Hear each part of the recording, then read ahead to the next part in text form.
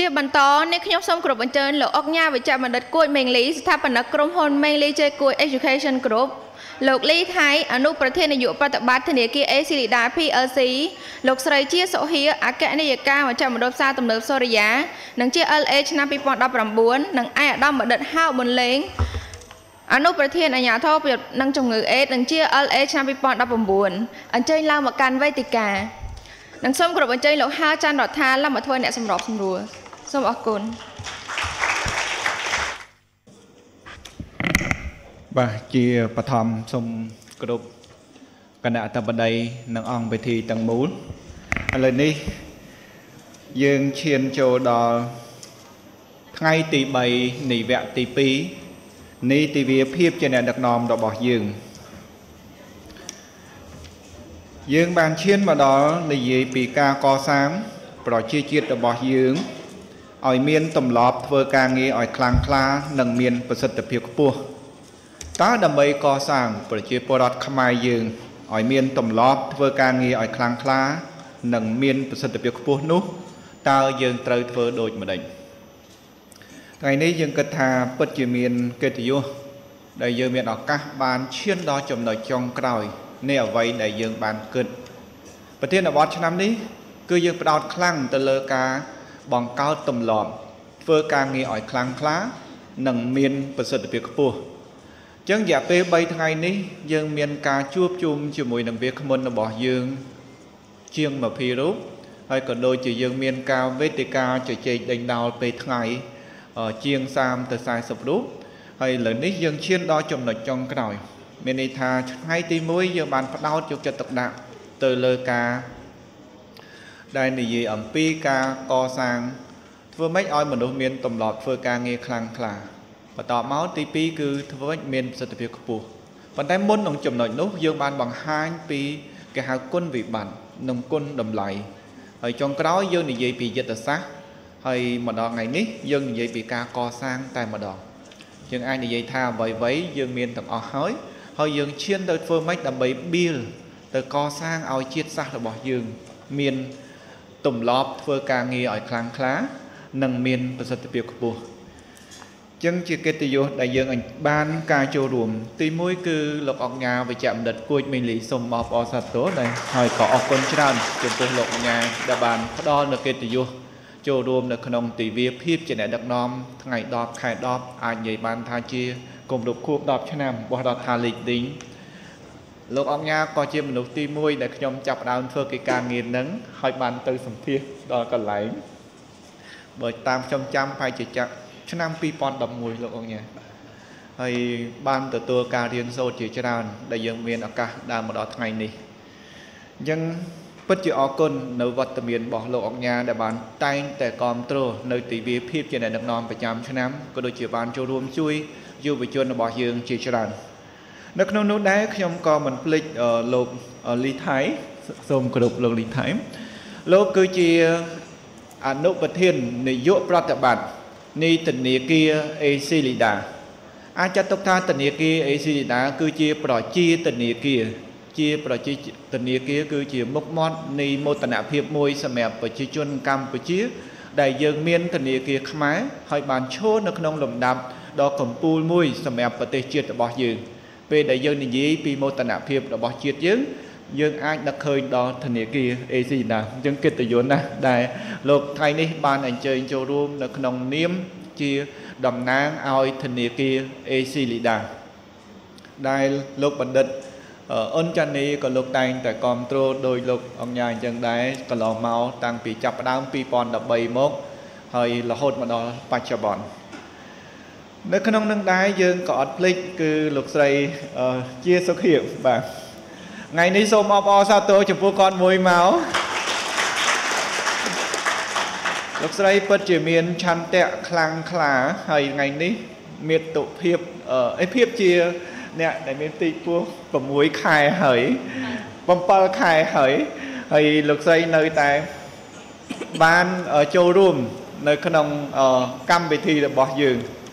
ថាកុំតែមិនចង់ឲ្យបង្កើតប្រវត្តិសាស្ត្រនៅក្នុងក្រសួងកិច្ចការនារីត្រូវថ្ងៃហ្នឹងឡើង debate ទៀត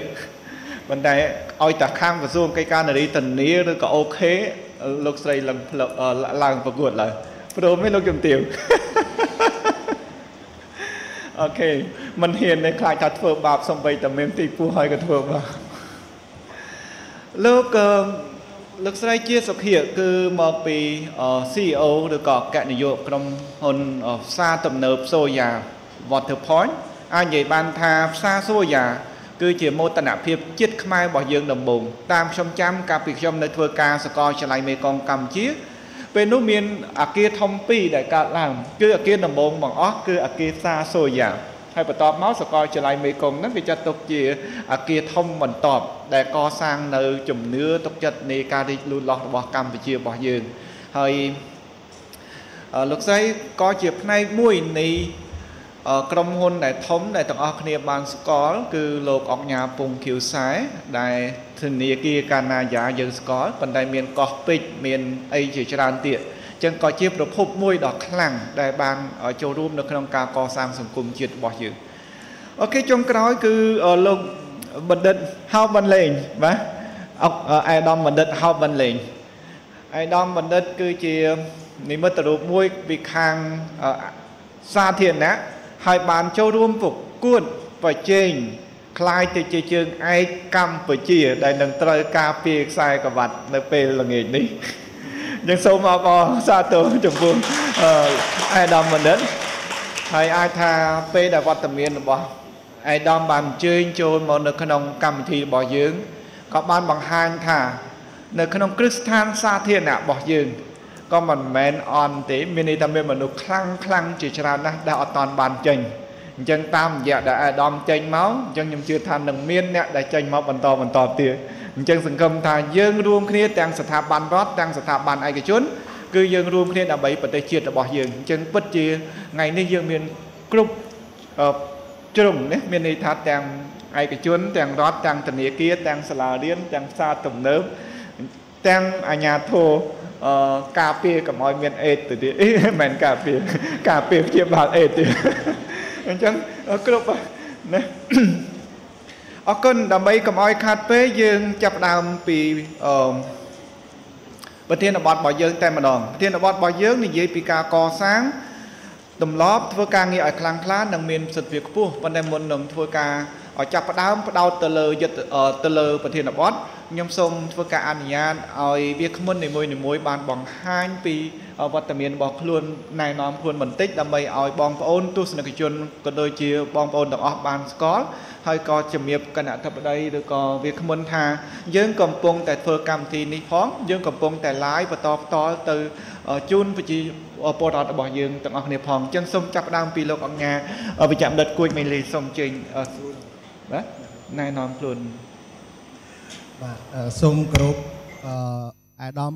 លោកជំទាវអស់លោកលោកអ្នកទាំងអស់ហើយនឹងក្មួយក្មួយសិស្សានុសិស្សដែលដែលជើញមកចូលរួមនៅថ្ងៃនេះបាទថ្ងៃថ្ងៃសៅរ៍ថ្ងៃសៅរ៍ជាទូទៅថ្ងៃសម្រាប់ក៏តែយើងឃើញតែប្រទេសខ្មែរយើងគឺថាមិនសូវមានថ្ងៃសម្រាប់ទេថ្ងៃសៅរ៍និងអាទិត្យបាទហើយទាំង holiday ផងដែរ អញ្ចឹងមានន័យថាតស៊ូខ្លាំងអឺខ្ញុំប្រហែលជាអស់លោកអ្នកស្គាល់ហើយគឺលោកគ្រូមេងលីដែលជាអ្នកអប់រំហើយអ្នកខាងវិជ្ជបណ្ឌិតហើយក៏អ្នកជំនាញខាងសុខភាពសាធារណៈផងដែរទីទូទៅខ្ញុំតែងតែជាសាស្ត្រាចារ្យបង្រៀនខាងពេទ្យនៅសហរដ្ឋអាមេរិកហើយក៏មកស្រុកខ្មែរជាពេទ្យស្ម័គ្រចិត្តហើយចប់ពេទ្យស្ម័គ្រចិត្តក៏ខ្ញុំធ្វើជាស្ថាបនិកព្រឹទ្ធបរិះនៅមហាវិទ្យាល័យមួយ ដំណើរការហើយក៏បើកសាលាខ្លួនឯងនិង clinic ប៉ុន្តែសាលាឥឡូវនេះគឺវាលូលាស់ធំមានសិស្ស15000នាក់ប៉ុន្តែ clinic ខ្ញុំគឺបើកសម្រាប់តែសិស្សទេមាន8នៅសាលាប្រជាពលរដ្ឋខ្លះក៏អត់ដឹងថាខ្ញុំជាវិជ្ជបណ្ឌិតកំពុងតែព្យាបាលអ្នកជំងឺទេអញ្ចឹងមិនសូវបានបង្ហាញព្រោះព្យាបាលគឺ free ទាំងអស់អត់មានយកថវិកាទេ ចំពោះអ្នកក្រីក្រចំពោះ អ្នកពិការឈឺអ្នកមានរោគមហារីកគឺតែយើងទទួលយកទាំងអស់ហើយនៅក្នុងស្ថាប័នខ្ញុំមានមូលនិធិបាទមាននេះជាគួយ education ដែលបច្ចុប្បន្ននេះយើងចំណាយថវិកាបន្តខ្លួនអស់ចិត្ត6លានកន្លះហើយដើម្បីមើលខុសទៅទៅលើប្រជាពលរដ្ឋយើងហើយបច្ចុប្បន្ននេះនៅពេលតនេខ្ញុំទៅសេនិពន្ធសភៅឥឡូវបានសភៅ7ក្បាល អា3ក្បាលចុងក្រោយគេហៅថា best selling បាទទស្សនវិស័យអឺ philosophy collection ហើយទស្សនៈ108បាទពីរហ្នឹងគឺពេញនិយមហើយខ្ញុំសង្ឃឹមថាអស់លោកអ្នកនឹងបន្តគ្រប់គ្រងហើយបច្ចុប្បន្ននេះខ្ញុំមានពេលទំនេរច្រើនចឹងចំណាយពេលផ្ដោតទៅលើការអប់រំខាងពេទ្យសុខភាពសាធារណៈហើយនឹងការផ្ដល់មតិយោបល់ខ្លះៗដល់បងប្អូនដែលចង់មានកំណត់រស់ស៊ីបាទអរគុណច្រើន បាទអរគុណច្រើនសម្រាប់លោកអង្ញាដែលបានចូលរួមជួយជាពិសេសទៅលើវិស័យអប់រំរបស់យើង វិស័យសុខភាពសាធារណៈក៏ដូចជាការជួរួមជួយទៅលើការធ្វើអាជីវកម្មឬក៏សហគ្រិនវ័យក្មេងរបស់យើងជាជាបន្តសូមអញ្ជើញលោកលីថៃណែនសូមតាណែនាំបាទជាបឋមបាទសូមគោរពអាយដាមលោកជំទាវបាទលោកលោកស្រីនាងកញ្ញាទាំងអស់បាទក៏ដូចជាវាគ្មិនបាទ ខ្ញុំបាទឈ្មោះលីថៃបាទខ្ញុំធ្វើការនៅធនាគារ AC ដាបាទក្នុងទួនាទីជាអនុប្រធាននាយកបបាត់និងជាគណៈប្រធាននាយកបបាត់អបាកិច្ចបាទហើយទួនាទីភារកិច្ចសំខាន់របស់ខ្ញុំបាទគឺតាក់ទងទៅនឹងកិច្ចការធនធានមនុស្សហើយនិងកិច្ចការរដ្ឋបាលបាទហើយខ្ញុំគិតថាអង្គពិធីប្រហែលជាមិនទៅស្គាល់ខ្ញុំទេប៉ុន្តែស្គាល់ធនាគារ AC ដាបាទព្រោះ ខ្ញុំសូមអនុញ្ញាតជម្រាបប្រវត្តិធនាគារស៊ីដាបន្តិចថាតើគម្រាមធនាគារស៊ីដាឈានមកដល់ចំណុចនេះតើធនាគារស៊ីដាចាប់ដើមតាំងពីណាមកបាទព្រោះខ្ញុំគិតថាអ្វីដែលខ្ញុំជម្រាបនេះគឺពាក់ព័ន្ធទៅនឹងប្រធានបទយើងសពថ្ងៃដែរបាទអញ្ចឹងធនាគារ AC ដែរយើងចាប់ផ្ដើមតាំងពីឆ្នាំ1993ខែ1បាទដែលកាលនោះគឺជាស្ថាប័នគេថា NGO local ហើយក៏យើងបានដំណើរការអាជីវកម្មរបស់យើងឈានពីដំណាក់កាលមួយទៅដំណាក់កាលមួយរហូតដល់ខ្លាយទៅជា micro finance ទៅជា specialized bank ហើយខ្លាយទៅជា commercial bank បាទហើយសូមមកដល់សប្តាហ៍នេះធនាគារស៊ីដាយើងប្រតិបត្តិការមិនមែនតែនៅក្នុងប្រទេសកម្ពុជាទេ បាទហើយអរគុណលោករដ្ឋាដែលបានបាទសរសើរធនាគារស៊ីដាបាទដែលជាមោទនភាពមួយសម្រាប់ប្រទេសយើងដែរដែលជាធនាគារមួយបាន ទៅធ្វើប្រតិបត្តិការនៅប្រទេសឡាវបាទហើយនៅប្រទេសភូមាទៀតបាទគឺសប្តាហ៍ថ្ងៃយើងប្រតិបត្តិការនៅ3ប្រទេសបាទហើយប្រតិបត្តិការយើងនៅទីនោះគឺយើងទទួលបានជោគជ័យហើយមានន័យថាយើងអាចពំនាំនៅអ្វីដែលយើងបានធ្វើជោគជ័យនៅប្រទេសកម្ពុជា បាទហើយទៅចែកម្លែកទៅដល់ប្រទេសជិតខាង បាទអញ្ចឹងសូមអរគុណសូមជម្រាបសង្ខេបបាទបាទអរគុណច្រើនចំពោះលោកលីថៃដែលបានណែនាំខ្លួនក៏ដូចជាបង្ហាញពីធនាគារ ACDA ជាបន្តសូមអញ្ជើញលោកស្រីជាសុខាសូមអញ្ជើញចាជាបឋមសូមគោរពលោកទាវអាដាមអស់លោកស្រីដែលមានវត្តមានក្នុងវេទិកានេះក៏ដូចជាបងប្អូនជនរួមជាតិដែលកំពុងតែតាមដានទស្សនាការផ្សាយការផ្សាយផ្ទាល់តាមប្រព័ន្ធផ្សព្វផ្សាយសង្គមចានេះខ្ញុំឈ្មោះជាសុខិជាអគ្គនាយកផ្សារទំនើបសូរយ៉ាសិនតភ័ញហើយថ្ងៃនេះឃើញថាមានកិត្តិយសមែនតែនព្រោះថានៅលើវេទិកានេះខ្ញុំជាស្ត្រីតែមួយគត់ក្នុងចំណោមបុរសទាំង5ទាំង4នាក់ ចាសូមស្នូដាក់ផ្ទះដៃមួយចា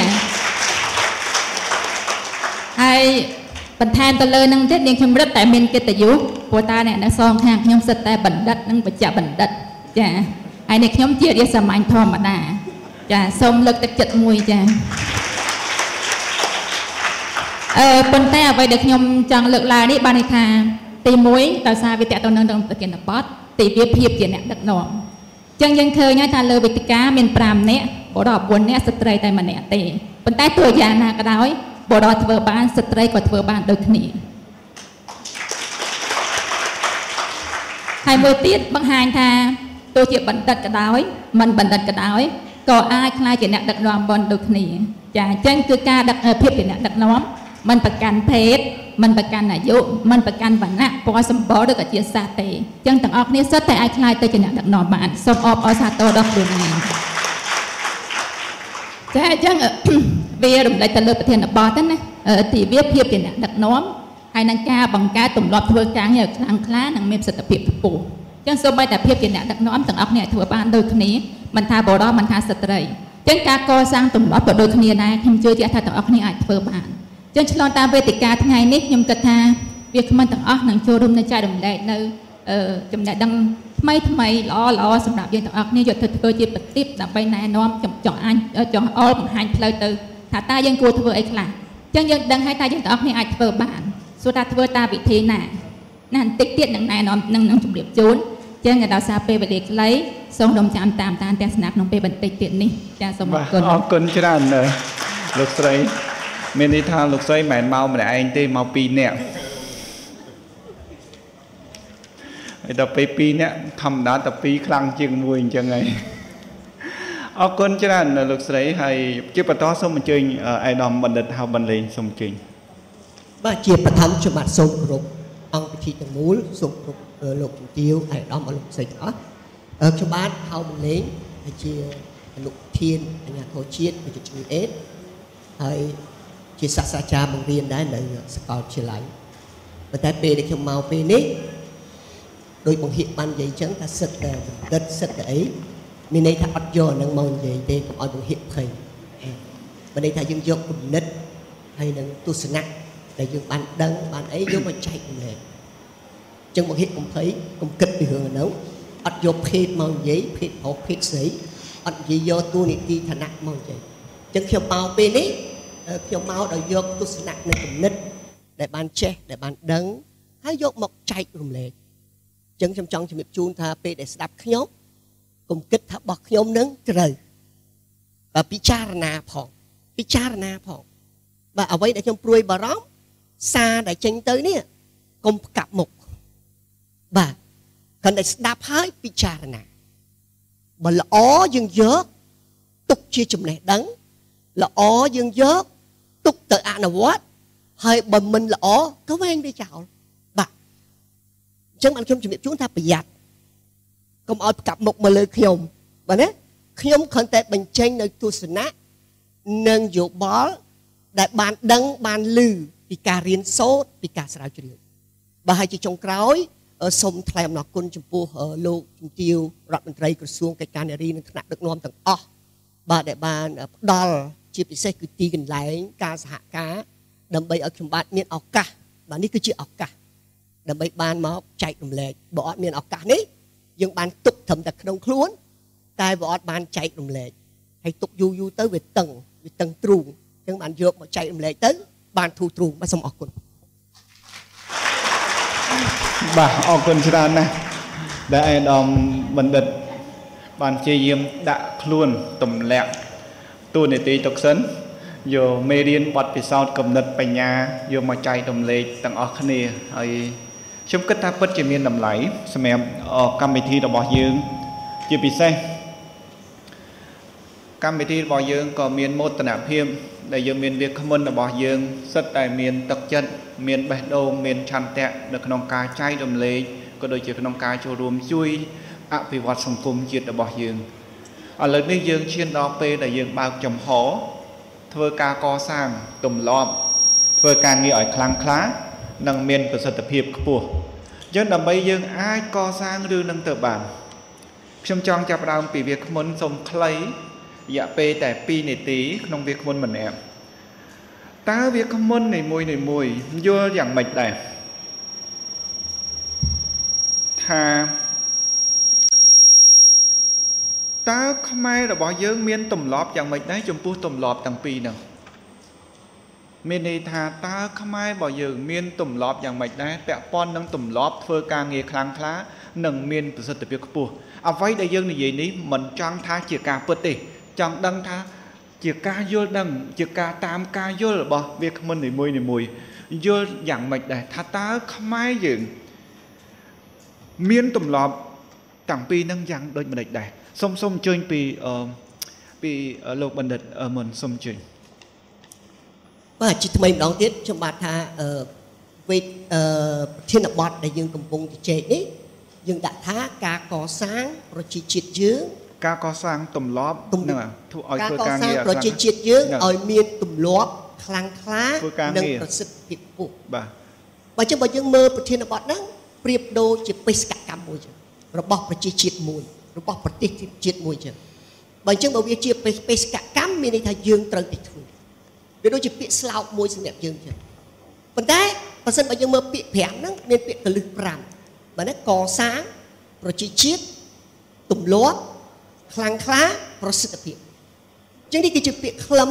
ដែលយើងនឹងរួមគ្នាជាមួយវាគ្មិនដទៃទៀតហ្នឹងប្រើប្រាស់នៅពេលវេលាហ្នឹងដើម្បីបង្ហាញជូនថាតើវាមានអត្ថន័យយ៉ាងណាតើធ្វើម៉េចដើម្បីឲ្យទម្លាប់នៅ វាល្អត្រឹមត្រូវហើយនឹងដើម្បីឲ្យវាមានប្រសិទ្ធភាពខ្ពស់តើយើងធ្វើទៅយ៉ាងណាខ្ញុំថាដើម្បីធ្វើបើយើងចាត់ទុកថានឹងជាអតិភិបរបស់យើងកុំខ្លាចចាប់ដើមវិនិយោគពីឥឡូវទៅហើយខ្ញុំថាវិនិយោគ3ដើម្បីធ្វើឲ្យទម្លាប់នឹងកើតមានទី1ឲ្យប្រជាជាតិយើងនឹងមានភាពជាអ្នកដឹកនាំមួយដែលមានឥទ្ធិពលបានន័យថាចេះប្រើប្រាស់ទស្សនវិស័យនៅបេសកកម្មត្រូវឲ្យប្រជាជាតិយើងคล้ายទៅជាអ្នកគ្រប់គ្រងមួយដែលមានសមត្ថភាព ចេះយកវាទៅធ្វើឲ្យរលូនកុំឲ្យមានឧបសគ្គហើយនឹងទី3ចេះជ្រើសរើសវិធីសាស្ត្រទៅបង្កើតទម្លាប់ដែលយើងហៅថាទម្លាប់ត្រូវហើយកាលណាយើងបង្កើតទម្លាប់ត្រូវគឺយើងខ្លាំងបន្ទាប់មកយើងខ្លាំងយើងប្រកាសជានឹងមានប្រសិទ្ធភាពសូមបាទបាទសូមអត់តន់ឆ្លើយចប់ទេ សំណួរដែលខ្ញុំចង់ដឹងគឺថាតាមការយល់របស់ឯកឧត្តមបណ្ឌិតតើខ្មែររបស់យើងកំពុងតែបច្ចុប្បន្ននេះឥឡូវនេះ តើមានទម្លាប់យ៉ាងដូចម្ដេចដែរចំពោះទម្លាប់ទាំងពីរហ្នឹងអឺទម្លាប់ទាំងពីរចង់និយាយពីអីទម្លាប់មានន័យថាទម្លាប់ធ្វើការងារខ្លាំងក្លានិងមានសិទ្ធិភាពខ្ពស់នេះតើអូខេបាទខ្ញុំចង់ជម្រាបជូនថាតើតើប្រជាជាតិយើងមានទម្លាប់អីតើប្រជាជាតិយើងខ្លាំងនៅតើប្រជាជាតិយើងមានប្រសិទ្ធភាពនៅចម្លើយតតែធ្វើ research ប៉ុន្តែអ្វីដែលខ្ញុំចង់ថាវេទិកានេះចង់បញ្ជូនសារទៅឲ្យប្រជាជាតិយើងថាម៉េច ថាបើខ្លាំងឲ្យខ្លាំងត្រូវអ្វីដែលយើងព្រួយបារម្ភវាខ្លាំងខុសចំលើកឧទាហរណ៍យុវជនលីដាវសាមរ៉ៃកាត់ភូមិមិនមែនមិនខ្លាំងទេយើងទាំងអស់គ្នានេះធ្វើអត់បានទេដូចខ្ញុំឲ្យទៅលីអញ្ចឹងលីអត់បានទេវេអ្នកដែលកំពុងតែបង្ហោះម៉ូតូនេះសិតតែខ្លាំងហើយបាទឲ្យខ្ញុំទៅបង្ហោះអត់បានទេបាទបង្ហោះមិនបានទេមិនខ្លាំងទេអញ្ចឹងមានន័យថាអ្វីដែលយើងចង់បានអ្វីដែលយើងកំពុងតែឃើញយើងសួរថាតើយើងខ្លាំងនៅ ហើយយើងមានប្រសិទ្ធភាពខ្ពស់នៅហើយបកស្រាយមកវិញថាវេទិកានេះចង់បញ្ជូនសារទៅចង់ជូនប្រជាជាតិថាបើត្រូវត្រូវឲ្យខ្លាំងហើយបើមានប្រសិទ្ធភាព មានប្រសិទ្ធភាពឲ្យខ្ពស់តែប៉ុណ្្នឹងសុំសុំចម្លើយមួយកុំកុំងាករេពីព្រោះអ្វីដែលយើងកំពុងតែនិយាយ គឺយើងបានច្បាស់នៅក្នុងប្រធានបទតើដើម្បីកសាងប្រជាពលរដ្ឋខ្មែរយើងឲ្យមានទម្លាប់ធ្វើការងារឲ្យខ្លាំងក្លានិងមានសិទ្ធិភាពខ្ពស់ហ្នឹងតើយើងធ្វើម៉េចនេះគឺជាគោលដៅដែលយើងត្រូវរយចម្លើយប៉ុន្តែមុននឹងទៅដល់ចម្លើយយើងចង់បានជាងគេថាតើប្រជាពលរដ្ឋរបស់យើងនេះពាក់ព័ន្ធនឹងទម្លាប់ពីរហ្នឹងវាមានស្ថិតនៅក្នុងកម្រិតណាយើងអាចនិយាយថាទៀបមធ្យមឬក៏ខ្ពស់បាទក្នុងនាមខ្ញុំជា ជាអ្នកស្រាវជ្រាវមួយរូបខ្ញុំឆ្លើយបានតើតើខ្ញុំមានហោះតាំងពិតដែលបានមកពីការសិក្សាស្រាវជ្រាវប៉ុន្តែឥឡូវដូចខ្ញុំនិយាយមិញអញ្ចឹងខ្ញុំអត់ទាន់មានអត់ទាន់មានការសិក្សាណាមួយ ដែលបញ្ជាក់ថាខ្មែរយើងហ្នឹងខ្លាំងប៉ុណ្ណាហើយមានប្រសិទ្ធភាពប៉ុណ្ណាប៉ុន្តែយើងអាចអំណាចអំណាងផ្សេងអំណាចអំណាងផ្សេងអំណាចអំណាងគឺយកផលមកនិយាយសួរថាបើយើងខ្លាំងហើយយើងមានប្រសិទ្ធភាពខ្ពស់ ប្រហែលជាយើងសម្រេចបាននៅគោលដៅដែលយើងចង់បានប្រជាជាតិណាក៏ដោយគឺអ្វីដែលយើងចង់បានគឺគុណភាពនៃជីវិតមានន័យថាជីវិតយើងនេះរស់នៅឲ្យមានសុខភាពរស់នៅឲ្យមានអាហារហូបចុកឲ្យបានត្រឹមត្រូវហើយនៅរស់នៅឲ្យសុបាយនឹងជាគុណភាពនៃជីវិតសួរថាយើងមាននៅថាយើងមិនទាន់មានមិនទាន់ទៅដល់នោះទេអញ្ចឹងហើយបានយើងនៅតែជាប្រទេសមួយគេហៅថាប្រទេសអភិវឌ្ឍកម្រិតទៀត ឬប្រទេសដែលមានប្រាក់ចំណូលទៀតយើងនៅនឹងឡើយអញ្ចឹងបើយោងទៅលើទៅលើផលដែលយើងឃើញហ្នឹងវាបញ្ជាក់ប្រាប់យើងហើយស្រេចហើយថាយើងអត់ទាន់ខ្លាំងទេហើយបើខ្លាំងក៏មិនទាន់ខ្លាំងត្រូវដែរហើយយើងក៏មិនទាន់មានប្រសិទ្ធភាពដែរហើយបើមានប្រសិទ្ធភាពក៏ប្រសិទ្ធភាពយើងមិនទាន់ខ្ពស់ដែរឆ្លើយទៅនឹងបាទអរគុណអរគុណគ្រប់គ្រប់បាទអរគុណច្រើនចំពោះអៃដម ខ្ញុំគិតថានេះខ្ញុំអត់ចង់និយាយថាវាជាការពិតយ៉ាងម៉េចទេតែតែចង់ឲ្យវាគ្មិនរបស់យើងបញ្ចេញនៅទស្សនៈការយល់របស់យើងយើងអត់ចង់ថានឹងជាការពិតទេប៉ុន្តែយើងជាប្រជាពលរដ្ឋម្នាក់ក៏ត្រូវតែហ៊ានបើកចំហនិយាយការពិតចេញពីចិត្តដែរបើយើងនៅតែសាព្រោះការកុហកគឺយើងនឹងជួបតែការកុហកបើយើងសាព្រោះការពិតដែលយើងនិយាយចេញពីចិត្តគឺនឹងអាចคล้ายជាការពិតមើលខាងធនាគារ AC ដដាវិញយល់យ៉ាងម៉េចដែរសូមអញ្ជើញ បាទសូមអរគុណបាទសូមបញ្ជាក់មិញឲ្យគេថាបញ្ចេញទស្សនៈផ្ទាល់ខ្លួនណាបាទអញ្ចឹងអ្វីដែលខ្ញុំបញ្ចេញទស្សនៈមិនមែនតំណាងឲ្យធនាគារទេអូខេអរគុណបាទសូមបញ្ជាក់បាទព្រោះតាមធម្មតាបើយើងនិយាយថាអញ្ចឹងបានគេចូលចិត្តថាឲ្យ open ហើយនិយាយទៅកុំឲ្យមានទោសបើថានិយាយទៅមានទោសមនុស្សអត់ហ៊ាននិយាយទេបាទអញ្ចឹងអឺដោយស្មោះត្រង់ទៅអ្វីដែលខ្ញុំសង្កេតឃើញផ្ទាល់ខ្លួនមានន័យថាអឺ ទម្លាប់របស់ប្រជាជនកម្ពុជារបស់យើងអឺយើងគិតថាមិនមែនអាក្រក់ទេគឺយើងល្អបាទដែលខ្ញុំឃើញទូទៅយើងមិនថា100%ប៉ុន្តែល្អដោយសារយើងអឺប្រជាជនយើងមានទម្លាប់ល្អហ្នឹងហើយដែលអឺខ្ញុំនិយាយពីផ្នែកមួយដែលខ្ញុំសង្កេតឃើញព្រោះខ្ញុំនៅក្នុងបរិស្ថានមួយធនាគារអញ្ចឹងបានអឺអ្វីដែលទម្លាប់ល្អរបស់គាត់ប្រឹងប្រែងហ្នឹងហើយដែលធ្វើឲ្យធនាគារមានការរីកចម្រើន បាទបើសិនជាយើងប្រជាជនខ្មែរមានទម្លាប់មិនល្អមែនប្រហែលជាបុគ្គលិកនៅស្ថាប័នធនាគារ AC ដានมันអាចធ្វើឲ្យធនាគារ AC ដានមានការរីកចម្រើនអឺតាំងពីដើមទុនបើខ្ញុំចាំបាន60ម៉ឺនឥឡូវដើមទុនប្រមាណពាន់អឺប្រមាណ100លាននោះទេបាទហើយដែលយើងមាន capital ជា6000លានហើយអឺសាខាយើងមាន260ជាងហើយប្រតិបត្តិការនៅបរទេសបាទអឺនៅអឺភូមាឬក៏នៅឡាវបាទអញ្ចឹងអឺខ្ញុំសូមសង្ខេបថាអឺ ទម្លាប់របស់ប្រជាជនយើងគឺយើងអឺមានន័យថាមានភាពមួយទទួលខុសត្រូវ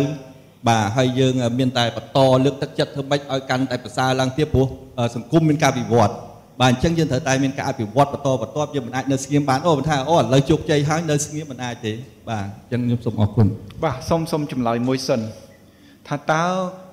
អឺកម្រិតបើយើងនិយាយថាប្រជាពលរដ្ឋរបស់យើង មានទម្លាប់ធ្វើការងារខ្លាំងក្លានិងមានប្រសិទ្ធភាពខ្ពស់ នេះគឺជាអ្វីដែលយើងចង់ថាវាស់វែងកំពូលប៉ុន្តែឥឡូវហ្នឹងលោកបំពេញបានអឺមានន័យថាលើមធ្យមមធ្យមឬក៏ក្រោមមធ្យមអឺគឺជារួមហ្មងមើលបាទជាបើលក្សិខនណៈជា picture ជាប្រទេសឥឡូវយើងនិយាយពី10បន្ទុកចុះបាទខ្ញុំអាចអឺវាតម្លៃអាចថាបាន7កន្លះអូខេអរគុណច្រើនអញ្ចឹងអរគុណមានន័យថាបាទលើមធ្យមបាទអរគុណច្រើនអរគុណច្រើនមើលឥឡូវសួរតែបដោះថាញថាអត់សួរស្ត្រីអញ្ចឹងសុំសុំស្ត្រីសំលេងស្ត្រី ចាអរគុណអឺសំណួររបស់លោកគ្រូព្រោះថាជាទូទៅសំណួររបស់លោកគ្រូគាត់រៀងចាក់ដោតបន្តិច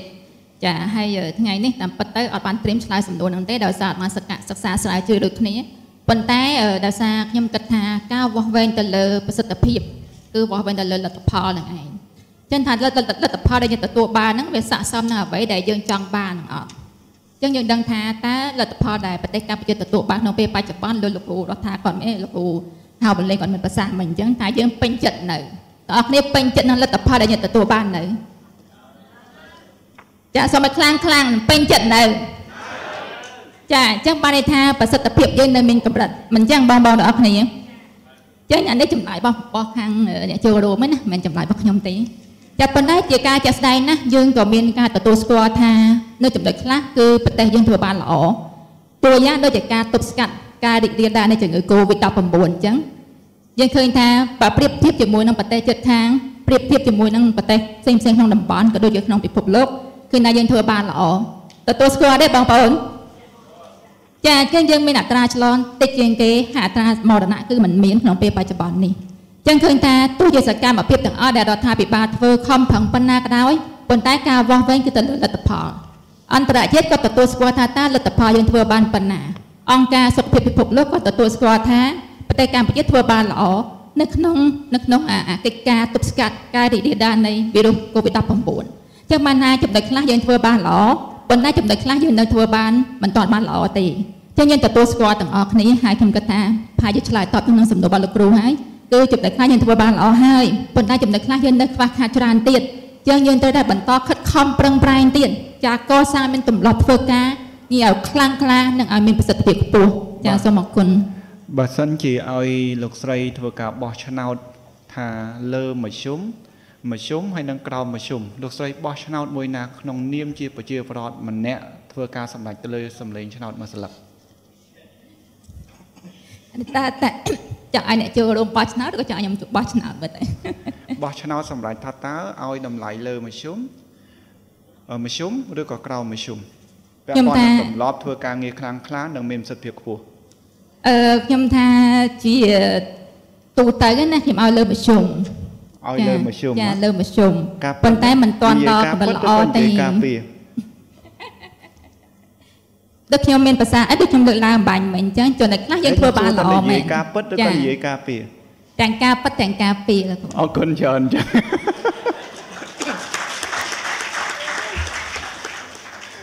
បាទ អញ្ជើញលោកអញ្ញាម្ដងអរគុណច្រើនបាទអរគុណច្រើនលោកគ្រូអរគុណអ្នកគ្រូបាទ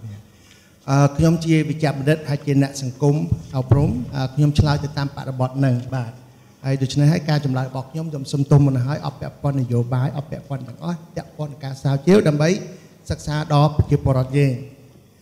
ប្រជាពលរដ្ឋខ្មែរដែលរស់នៅក្រៅប្រទេសដែលបានរៀនសូត្រល្អ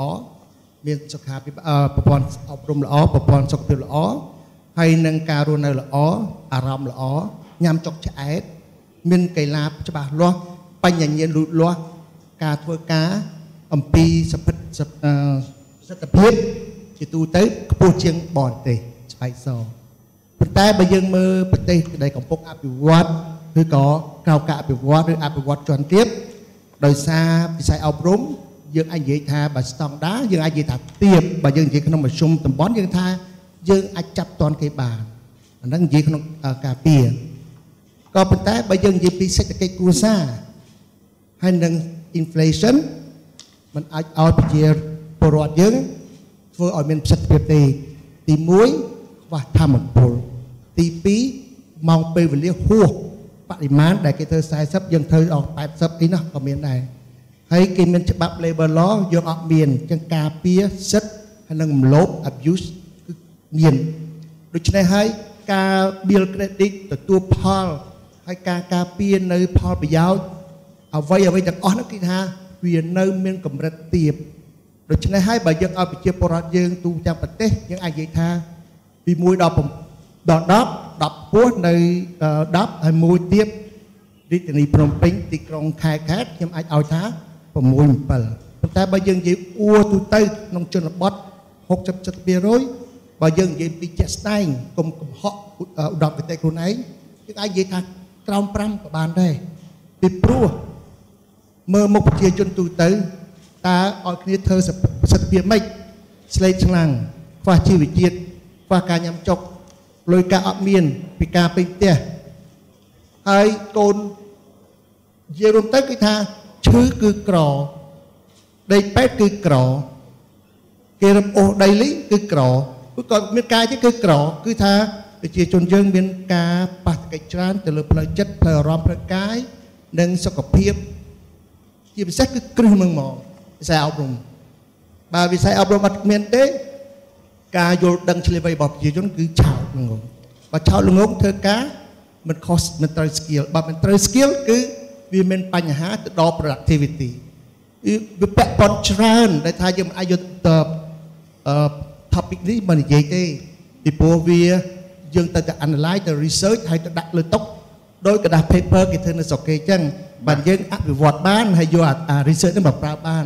ឥឡូវនេះយើងគ្រាន់តែលុំលុំគ្នាឯងផោគ្នាឯងទេបាទបាទអរអរគុណច្រើនលោកអញ្ញាសូមអរគុណច្រើនឆ្លងវគ្គទី1មានន័យថា អ្វីដែលយើងសួរនេះគឺក៏គ្មានការដែលបំណងទៅរិះគន់ឬក៏ទីទានថាយើងធ្លាក់ទាបឬក៏ខ្ពស់ទេប៉ុន្តែបើសិនជាយើងចង់កសាងយើងចង់អភិវឌ្ឍបើសិនយើងមិនដឹងថាទីតាំងរបស់យើងនៅទីណាទេគឺយើងក៏ពិបាកនៅក្នុងការបន្តធ្វើឲ្យវាវាយ៉ាងម៉េចយើងបំពេញយ៉ាងម៉េចនោះដែរបើយើងមើលជំនាន់អង្គរប្រទេសខ្មែរយើងសាងសង់ថ្មអង្គរទាំងជ្រៀងមិញរាប់ពាន់កន្លែង ឥឡូវតាំងពីនឹងមកដល់ឥឡូវយើងអត់ទាន់សង់ឲ្យបានទេដោយសារស្ថិរភាពស្ថិរភាពប្រទេសស្ថិរភាពអារម្មណ៍ស្ថិរអាហូបអាហារសុខភាពគឺតែយើងមានរហូតតាំងពីមុនចរន្តបារាំងមកដល់ឥឡូវហើយបច្ចុប្បន្នភាពគឺស្ថិរភាពនៅ in question អញ្ចឹងបើ in question នៅចំនួនយើងសួរខ្លួនយើងទៅថាអាចឲ្យប្រជាពលរដ្ឋមានប្រសិទ្ធភាពណាផលិតអីធ្វើអីថិតទេអី យល់អីនឹងអីចេះអីបើ basic យើងអត់មាន fundamental យើងអត់មានគ្រឹះយើងអត់មានហើយ plan ទៅថ្ងៃមុខយើងអត់មានអូខេអរគុណហើយការរៀនសូត្របើសិនយើងរៀនណាតើតែចេះបើយើងរៀនមិនពេញ program អត់ចេះទេបើរៀនអត់មាន physical exercise ទេសុខភាពគឺមិនមានទេអញ្ចឹងបានយើងឃើញកូនខ្មែរយើងត20អីឡើងក្បាលពោះធំបាច់ពីពោះគ្មានទម្លាប់ហាត់ប្រាណតាមប្រពលឈឺចិត្តអញ្ចឹងបើគេហៅថាអឺ average life span របស់ខ្មែរហ្នឹងទៅ60ជាងណាយើងប្រៀបទៅជុំវិញយើង80 79អីចឹងទៅបាទបាទវាចាប់តាមពី basic ហ្នឹងបាទបាទអរគុណច្រើនចំពោះអឺលោកអង្ញាក៏ដូចជាវាគ្មិនទាំង4មានន័យថាបើតាមការយល់ផ្ទាល់ខ្លួនរបស់វាគ្មិនយើងទាំង4មានន័យថា2នាក់គឺក្រោមមធ្យម2នាក់លើមធ្យមនេះគឺជាទស្សនៈ point of view អាចម្នាក់ម្នាក់យើងមានអាចការមើលឃើញខុសៗគ្នា ប៉ុន្តែដូចខ្ញុំនិយាយអញ្ចឹងអ្វីដែលយើងជជែកពេលនេះគឺមិនមែនចង់ធ្វើការរិះគន់ឬក៏អ្វីមួយនោះទេ សំណួរសំខាន់ទី2យើងចាត់ទុកថាទោះបីជាខ្មែររបស់យើងនៅមានទម្លាប់នៅក្នុងទីតាំងណាក៏ដោយប៉ុន្តែអ្វីដែលយើងចង់ឃើញខ្មែររបស់យើងទាំងអស់គ្នាគឺមានទម្លាប់ធ្វើការងារខ្លាំងក្លានិងមានប្រសិទ្ធភាពខ្ពស់អញ្ចឹងបើតាមវាគ្មិនរបស់យើងម្នាក់ម្នាក់តើធ្វើម៉េចឲ្យតើតើ ធ្វើម៉េចឲ្យខ្មែររបស់យើងនេះមានទម្លាប់ពីរនឹងអញ្ចឹងសូមចាប់ផ្ដើមពីលោកអុកញ៉ាមុនតែម្ដងបាទអឺយើងមើលម៉ោងការងារយើងធ្វើមកជុំពាកគឺស្ទើរលើម៉ោងហើយលើថ្ងៃមនុស្សយើងទៅធ្វើលើសអត់មានពេលគេហៅ recharge ទេអត់មានពេល regenerate ទេអញ្ចឹងយើងចង់ចាត់រូបមន្តមិនក៏ដោយធ្វើអត់ចេញទេព្រោះមនុស្សយើង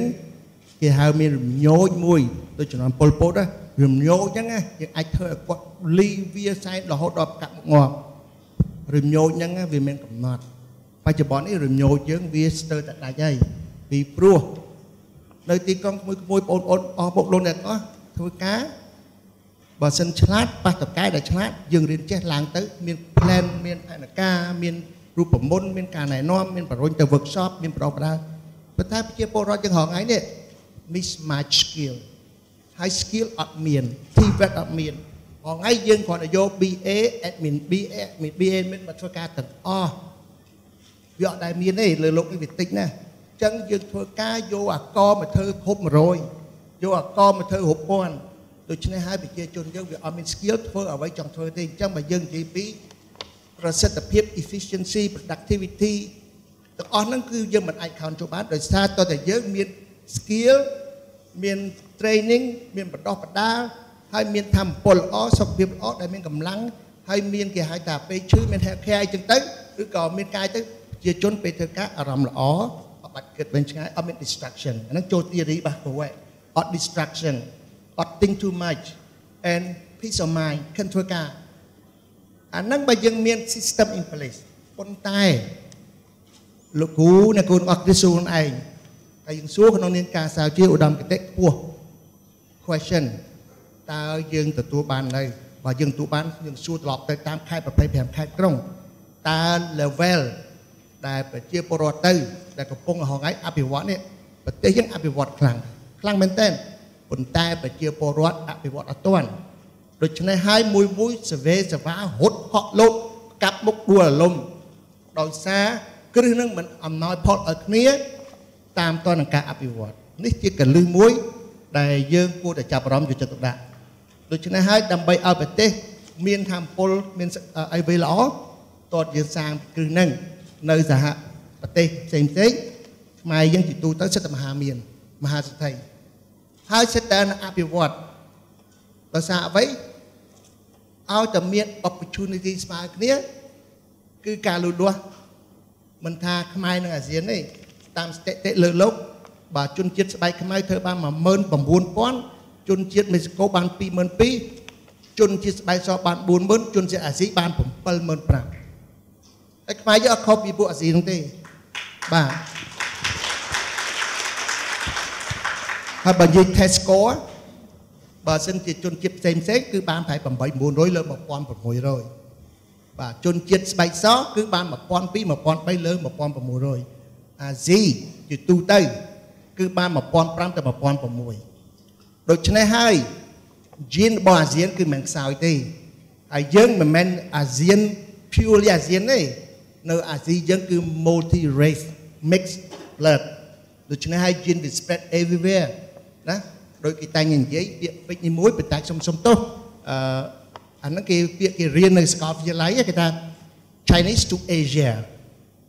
លោកគ្រូពិចារណាមើលណាអាស៊ីចិនគឺទៅអាស៊ី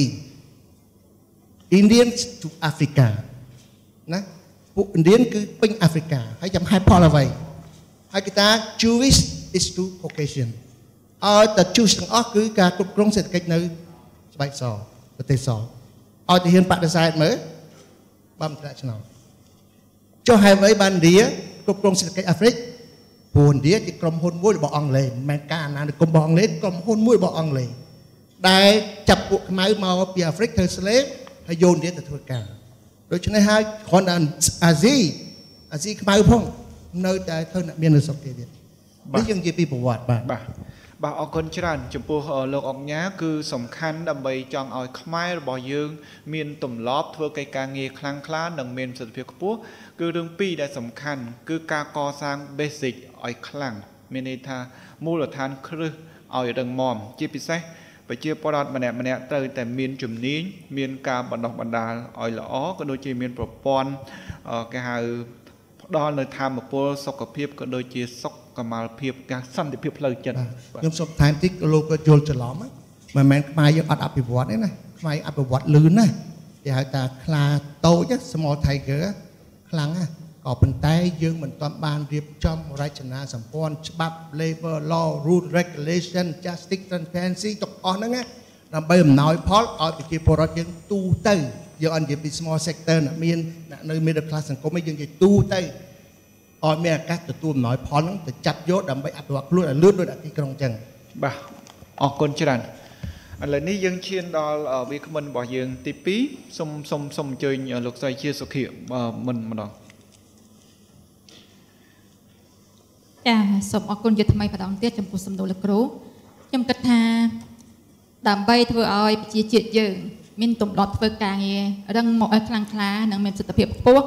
ខ្ញុំថាទី1គឺត្រូវធ្វើម៉េចឲ្យពួកគាត់មានអារម្មណ៍ថាគាត់ចង់សិនចាធម្មតាយើងមិនអាចបង្ខំមនុស្សម្នាក់ឲ្យធ្វើអ្វីមួយនៅពេលដែលគាត់ចង់ទេហើយយើងអាចឲ្យបង្ខំឲ្យគាត់ធ្វើប៉ុន្តែលទ្ធផលក៏មិនដូចជាអ្វីដែលយើងរំពឹងទុកដែរអញ្ចឹងកាលណាយើងចង់ខ្ញុំគិតថាយើងនឹងខំប្រឹងប្រែងអស់សមត្ថភាពរបស់យើងតែម្ដងចឹងតែអាចចំណងហ្នឹងយើងត្រូវបង្កើតដោយវិធីណាខ្ញុំលើកឧទាហរណ៍ចំណងវាមានធម្មតាជនពេលខ្លះពេលកើតឡើងដោយធម្មជាតិ ហើយចំណងជនពេលខ្លះត្រូវការយើងទៅឆ្កឹះឆ្កៀត្រូវយើងទៅបង្កបង្កើតវា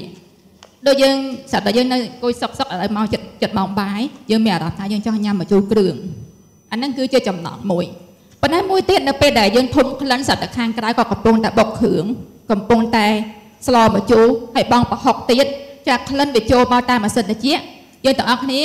ទោះចង់ចង់ក៏កើតអារម្មណ៍មួយថាដូចជាចង់ញ៉ាំម្ជូរគ្រឿង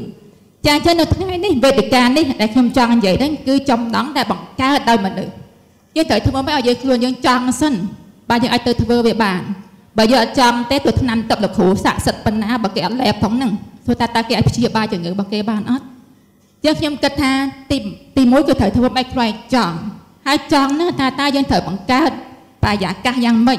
ដើម្បីធ្វើឲ្យទាំងអស់គ្នាចង់ហើយចង់ហ្នឹងត្រូវចង់យ៉ាងម៉េចចង់ពីខ្លួនយើងទៅមុនសិនមុនពេលដែលយើងឲ្យគេធ្វើតាមយើង ចឹងអាតាចង់ត្រូវចង់យ៉ាងម៉េចត្រូវធ្វើម៉េចដើម្បីឲ្យមានចំណងខ្ញុំគិតថាបងប្អូនហើយជាអាចដឹងខ្លះមិនមែនថាអត់ដឹងទេដល់ពេលចង់ធ្វើអីមួយនិយាយទៅថាអូយស្ទើរថាភ្លឺមិនតនេះចង់ទៅទៅធ្វើវាតែម្ដងតែបើអត់ចង់វិញថ្ងៃចាំងគូតហើយក៏អត់ចង់ក្រោកដែរមែនទេបងប្អូនទាំងអស់គ្នាចាអញ្ចឹងខ្ញុំគិតថាដំបងដើម្បីធ្វើឲ្យយើងទាំងអស់គ្នាមានទម្លាប់មួយខំប្រឹងប្រែងក្នុងការងារហ្នឹងក្នុងប្រសិទ្ធភាពតើយើងខ្លួនឯងចង់សិនហើយចង់ត្រូវធ្វើយ៉ាងតាមយ៉ាងណា ខ្ញុំគិតថាវាគ្មិនផ្សេងផ្សេងបានចែកម្លែកច្រើនណាបានទេអត់អីអត់អីតិចចាវាគ្មិនផ្សេងផ្សេងបានចែកម្លែកច្រើនមែនតែនតែថ្ងៃទី1ថ្ងៃទី2ហើយថ្ងៃនេះទៅថ្ងៃបញ្ចប់ចាអ្វីដែលខ្ញុំចង់បន្ថែមទៅលើអ្វីដែលវាគ្មិនផ្សេងផ្សេងបានចែកម្លែកហ្នឹងគឺការបណ្ដុះគំនិតឬក៏ស្មារតីឬក៏ការបង្កើតវប្បធម៌មួយ ដែលមានការប្រកួតប្រជែងតួយ៉ាងដូចវេទិកាថ្ងៃនេះអញ្ចឹងណាជាវេទិកាជជែកដេញដោពេលថ្ងៃ យើងមានវេទិកាជជែកដេញដោតែពិតគឺជាការប្រកួតប្រជែងសួរថាតើការប្រកួតប្រជែងហ្នឹងបេក្ខភាពយើងចូលរួមទាំងអស់គ្នាហ្នឹងតែយើងខំប្រឹងអត់ណាខំប្រឹងខ្ញុំឃើញបងជាឡាយគាត់ប្រេឡងដល់ណាដល់ណីលោដល់ស្រាយជ្រាវដល់ម៉ៅសេតុងដល់អិសរាជជនផ្សេងផ្សេងទៀតអញ្ចឹងខ្ញុំគិតថាបើសិនជាអត់មានវេទិកានេះប្រហែលជាបងជួលឡាយមិនបានទៅស្រាវជ្រាវដល់ដល់ម៉ៅសេតុងដល់អីទេ ចឹងវេទិកាប្រកួតប្រជែងនេះវាធ្វើឲ្យយើងចង់ទីមួយយើងចង់ឲ្យយើងចង់ឈ្នះព្រោះយើងចង់ចាញ់ទេមិនចឹងចឹងបង្កើតចំណងមួយហើយអាប្រការប្រកួតប្រជែងនេះទៀតសោទៀតណាគឺការប្រកួតប្រជែងលើខ្លួនឯងអានេះគឺសំខាន់បំផុតនៅពេលដែលយើងឈានជើងឡើងលើវេទិកាគឺយើងបានឈ្នះរួចទៅហើយឈ្នះអីទេគឺយើងឈ្នះលើភាពភ័យខ្លាចលើខ្លួនឯងកន្លងមកយើងនិយាយគាត់ថាខ្ញុំទៅមិនរួចទេមើលទៅគេសិតតែខ្លាំងខ្លាំងអញ្ចឹងណា ចឹងនៅពេលដែលយើងបោះជំហានឡើងលើវេទិកាភ្លាមឡើងលើឆាកភ្លាមគឺយើងឈ្នះរួចទៅហើយគឺឈ្នះខ្លួនឯងទីមួយដែលយើងឈ្នះខ្លួនឯងលើអីគេដោយសារយើងបានអភិវឌ្ឍខ្លួនឯងបន្ថែមទៀត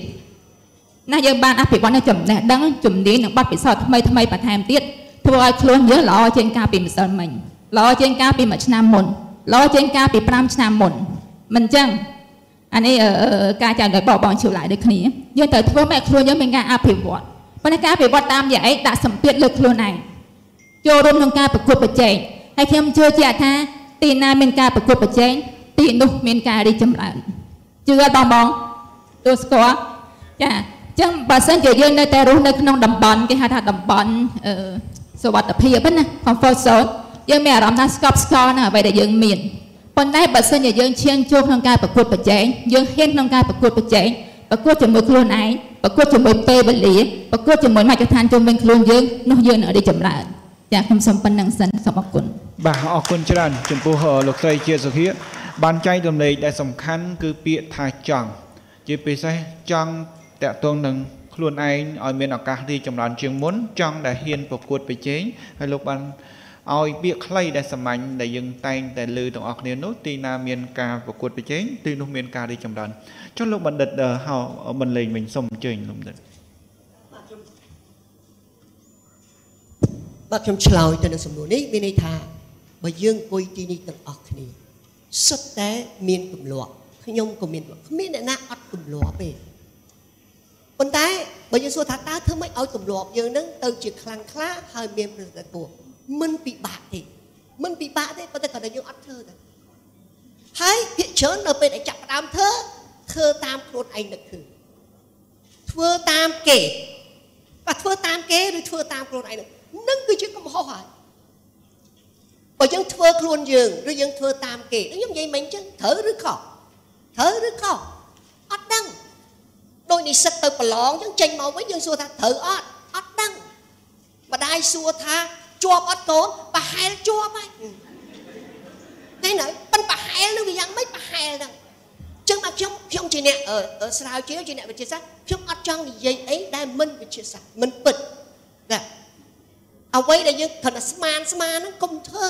ស្មានវត្តដាក់ត្រូវទេហើយបើត្រូវក៏ត្រូវមិនត្រឹមមិនអស់100%ដែរអញ្ចឹងសួរវិញថាតើធ្វើម៉េចដើម្បីឲ្យយើងមានទម្លាប់ខ្លាំងក្លាឲ្យមានទម្លាប់ហ្នឹង ធ្វើឲ្យមានប្រសិទ្ធភាពខ្ពស់ទៅមើលណាឃើញមើលបងបងឆ្លើយទៅមើលណាឃើញអ្នកស្រាវជ្រាវគេស្រាវជ្រាវយកមកផលិតជាសភៅបាទនោះត្រូវគ្មានអី the best ជាង theory ទេទ្រឹស្ដីគឺ the best បាទ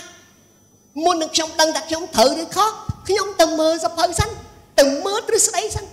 ថាតើទ្រឹស្ដីគេនិយាយយ៉ាងម៉េចពីព្រោះទ្រឹស្ដីគឺជាការចងក្រងនៅទស្សនៈ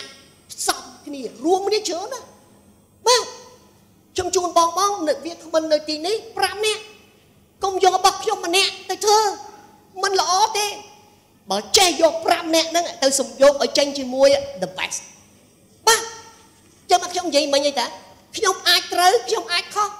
យកតែរបស់ខ្ញុំត្រូវបានហើយអាខុសយកធ្វើអីទុកគាត់ចោលទៅ ចឹងមកខ្ញុំចង់និយាយថាខ្ញុំលើកឧទាហរណ៍មកវិញខ្ញុំលើកឧទាហរណ៍មួយសាមញ្ញដោយសារពេលវេលាឧទាហរណ៍ថាខ្ញុំខ្ញុំចង់កសាងខ្លួនខ្ញុំឲ្យមានទម្លាប់ល្អខ្លាំងហើយមានប្រសិទ្ធភាពខ្ពស់ខ្ញុំត្រូវធ្វើអីពាក្យកសាងយើងខ្ញុំទៅមើលសភៅសភៅប្រាប់ខ្ញុំថាម៉េចកសាងជាប្រព័ន្ធបើកសាងអ្នកឯងត្រូវកសាងជាប្រព័ន្ធមុននឹងអ្នកឯងកសាងអ្នកឯងមើលនិស័យអ្នកឯងសិនថានិស័យអ្នកឯងទៅណានេះនិស័យនឹងមកពីធម្មជាតិ ខ្ញុំទៅច្រៀងមិនបានច្រៀងអត់ព្រោះទេ តែបើមកនិយាយយើងព្រោះបាទខ្ញុំជឿថាព្រោះមកបាទតែទៅច្រៀងអត់មិនព្រោះទេនិស័យខ្ញុំអញ្ចឹងអញ្ចឹងមើលនិស័យហើយចាប់ដើមកសាងដោយអីដោយទៅរៀនទៅរៀនបាទកុំរៀនក្រៅសាលារៀនក្នុងសាលាសិនដែលយើងថាទៅរៀនទ្រឹស្ដីបន្ទាប់មកត្រូវរៀនក្រៅសាលាដែលគេថារៀនកសាងផ្នត់គំនិតផ្នត់គំនិតវិជ្ជមាន រៀនពីឪពុកម្ដាយរៀនពីចាស់ប្រតិចារៀនពីរៀមច្បងរៀនរៀនរៀនអ្នកនៅជុំវិញខ្លួនយើងអាហ្នឹងគេថារៀនដើម្បីដូរផ្នត់គំនិតយើងឲ្យវិជ្ជមានក្រោយពីរៀនបានអាពីរហ្នឹងហើយយើងយកទៅធ្វើអីវឹកវើន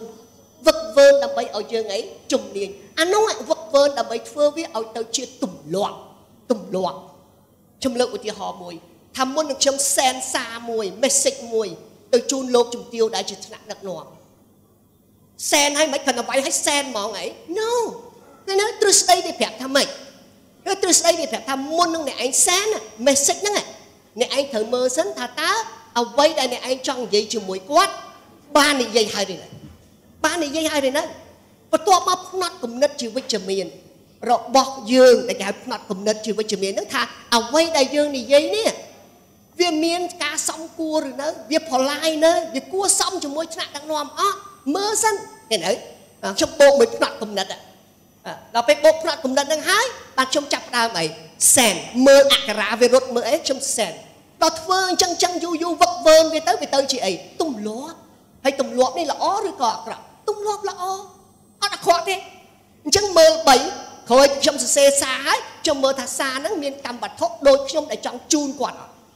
ទី2ថាតើសារហ្នឹង មានរែងផល្លាយនៅគួរសមនៅសម្រាប់ថ្នាក់ដឹកនាំទី3មានកំហុសអក្ខរាវិរុទ្ធអត់បើអត់ខ្ញុំសែនអញ្ចឹងវាទៅជាតុំទំលាប់នឹងវឹកវើក្រោយពីអាហ្នឹងហើយគុំនៅត្រឹមប៉ុណ្ណឹងសរសេរទៅគាត់របៀបហ្នឹងយឺតណាស់ត្រូវមានគំនិតច្នៃប្រឌិតសរសេរមិនឲ្យលឿនប្រើភាសាអីណាអាហ្នឹងយើងច្នៃតទៅទៀតឥឡូវឥឡូវទៅសរសេរនៅកុំព្យូទ័រយឺតណាស់ប្រព័ន្ធប្រព័ន្ធទំនើបឥឡូវប្រើតាម Telegram ប្រើតាម Messenger ប្រើអីអាហ្នឹងយើងច្នៃប្រឌិតនិងបង្កើតថ្មីទៅទៀតបាទធ្វើឲ្យទម្លាប់យើងហ្នឹងកាន់តែអីកាន់តែលឿនកាន់តែល្អកាន់តែបាទខ្ញុំលើកយកចិត្តអញ្ចឹងវិលត្រឡប់មកវិញខ្ញុំចង់ជម្រាបជូនថាបើយើងចង់ធ្វើថ្ងៃហ្នឹងយើងទៅវិញធ្វើបាន ហើយមិនចាំបាច់ទៅរកពីណាទេសភៅមានបាទណាទ្រឹស្ដីមានអានោះឲ្យជាគ្រូយើងហើយគ្រូ the best ខ្ញុំមិនមែនជាគ្រូ the best ទេព្រោះខ្ញុំជាអ្នកបញ្ជូនសារទេ គេណៃបញ្ជូនសារអាចបញ្ជូនគ្រប់អាចបញ្ជូនខ្វាក់អាចបញ្ជូនលើកអាចបញ្ជូនមិនត្រឹមត្រូវតែសភៅដែលសរសេរគឺអត់ទេ the best សូមអរគុណបាទអរគុណច្រើនចំពោះលោកអឺបណ្ឌិតហៅបន្លេង ដែលលោកឲ្យតម្លៃថាយើងដើម្បីបង្កើតទម្លាប់នឹងបាន គឺយើងត្រូវធ្វើ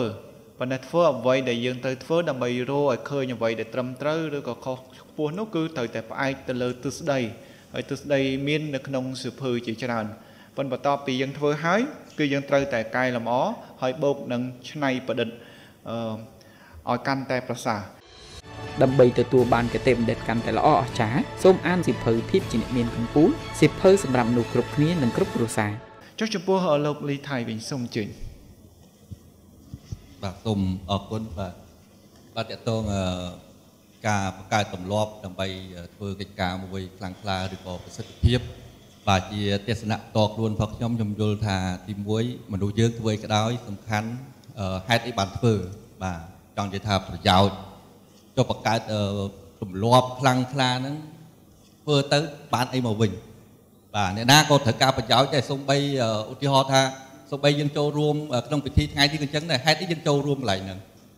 បាទព្រោះ ហេតុអីយើងជឿរើសថ្ងៃសៅរ៍ពេលព្រឹកហើយយើងចំណាយពេលមកអង្គុយស្ដាប់ហ្នឹងតើហេតុអីបាទនេះក៏ជាទម្លាប់មួយក្នុងការសិក្សាស្វែងយល់របស់យើងដែរបាទហើយបើនិយាយទៅខ្ញុំគិតថាខ្ញុំចូលរួមដល់ខ្លីមានន័យថាការបង្កើតទម្លាប់ហ្នឹងគឺផ្ដើមចេញពីអត្ថប្រយោជន៍ហើយខ្ញុំគិតថាមនុស្សយើងនិយាយដល់ស្បោះត្រង់ទៅអ្នកណាក៏ដោយធ្វើអីក៏តែងតែគិតអំពីផលប្រយោជន៍បាទនេះជាច្បាប់ធម្មជាតិ បាទហើយខ្ញុំក៏យល់ថាអានសភៅមួយចំនួនគេจะធ្វើអីក៏ដោយកុំឲ្យប្រឆាំងច្បាប់ធម្មជាតិបាទហើយដើម្បីប្រសិទ្ធភាពអញ្ចឹងអាចថាចូលដល់លក្ខណៈប្រកួតប្រជែងមនុស្សយើងតើមានខ្ញុំនិយាយពីមហិច្ឆតាចុះនិយាយពីអ្វីដែលខ្ញុំទម្លាប់ខ្លួនឯងទេដែលខិតខំប្រឹងប្រែងខ្ញុំមិនមែនថាខ្ញុំជោគជ័យទេប៉ុន្តែខ្ញុំចែករំលែកអ្វីដែលខ្ញុំចូលធ្វើការហើយជាប្រឹងប្រែងហ្នឹងយ៉ាងម៉េចគឺទីមួយខ្ញុំនិយាយពីមហិច្ឆតា ធ្វើឲ្យក្តៅយើងត្រូវមានមហិច្ឆតារបស់យើងបាទមហិច្ឆតាគឺសូមនិយាយថាក្នុងផ្លូវល្អបាទមិនមែនទៅរកផ្លូវអាក្រក់ទេហើយដែលនៅយើងនៅធនាគារស៊ីតាយើងតែងនិយាយថាធ្វើអីក៏ដោយបានផលមកដោយធម៌បាទមិនមែនដល់យើងរីកចម្រើនទៅអ្នកអ្នកដតីឬក៏អ្នកដែលជុំវិញនឹងរងគ្រោះដោយសារយើងយើងជោគជ័យក៏ជាអ្វីដែលយើងមិនមែនធ្វើដែរបាទ អញ្ចឹងខ្ញុំសូមសង្ខេបអ្វីដែលខ្ញុំចូលរួមក្នុងការបង្កើតទម្លាប់ខ្លាំងក្លានេះគឺខ្ញុំផ្ដើមចេញពីគោមានន័យថាផលប្រយោជន៍របស់យើង ហើយមួយទៀតគោលបំណងរបស់យើងឬយើងតែចង់បានហើយពិតជាមានការតស៊ូព្យាយាមក្នុងការបង្កើតទម្លាប់ខ្លួនឯងហើយបាទសូមអរគុណបាទអរគុណច្រើនហើយខ្ញុំគិតថាសម្រាប់ឥឡូវនេះយើងឃើញមានពាក្យដែលសំខាន់គឺពាក់ព័ន្ធនឹងពាក្យទី1គឺចង់ ពាក្យទី2គឺតកតងនឹងធ្វើដែលជាមួយនឹងទិសដីដែលមានលក្ខណៈវិទ្យាសាស្ត្រយ៉ាងណាលោកបាទហើយទី3គឺតកតងនឹងប្រយោជន៍ឬក៏តកតងនឹងថាមហិច្ឆតាធ្វើអ្វីមួយត្រូវដើម្បីប្រយោជន៍ឬក៏ដើម្បីមហិច្ឆតាចុះលោកអុកញ៉ាពាក្យអីដែលអាចថាមកពាក្យដែលជួយឲ្យខ្មែររបស់យើង មានទម្លាប់ធ្វើការងារខ្លាំងក្លានិងមានសិទ្ធិភាពខ្ពស់សូមសូមអញ្ជើញលោកអញ្ញាអឺ គេថាពុទ្ធសិទ្ធតនៅក្មេងបរិញ្ញាក្មេងតអបរិញ្ញាមនុស្សតនៅក្មេងហើយបើយើងបានធ្វើអ្វីអ្វីដែលចាំបាច់ត្រៀមឲ្យក្មេងធ្វើទៅក្នុងសង្គមលូតលាស់ហើយធ្វើការបានហើយប្រសិទ្ធភាពហើយជោគជ័យតើតែយើងបន្តក្មេងពីក្មេងឥឡូវនេះយើងមិនសូវបានប្រមាណទេដោយសារសង្គមយើងកំពុងតែលូតលាស់អញ្ចឹងប្រជាពលរដ្ឋរវល់អញ្ចឹងខ្ញុំតែនិយាយថាសង្គមមាន4សង្គមទី1ឪពុកម្ដាយណាព្យាបាល ឥឡូវនេះសង្គមហ្នឹងគឺកំពុងតែមានភាពរញ៉េរញ៉ៃដោយសារសម្ភារៈនិយមអញ្ចឹងសង្គមហ្នឹងនៅស្រុកខ្មែរយើងវាបាក់បែកដូច្នេះហើយយើងឃើញឪពុកមានប្រពន្ធ3 4ប្រពន្ធមានប្តី1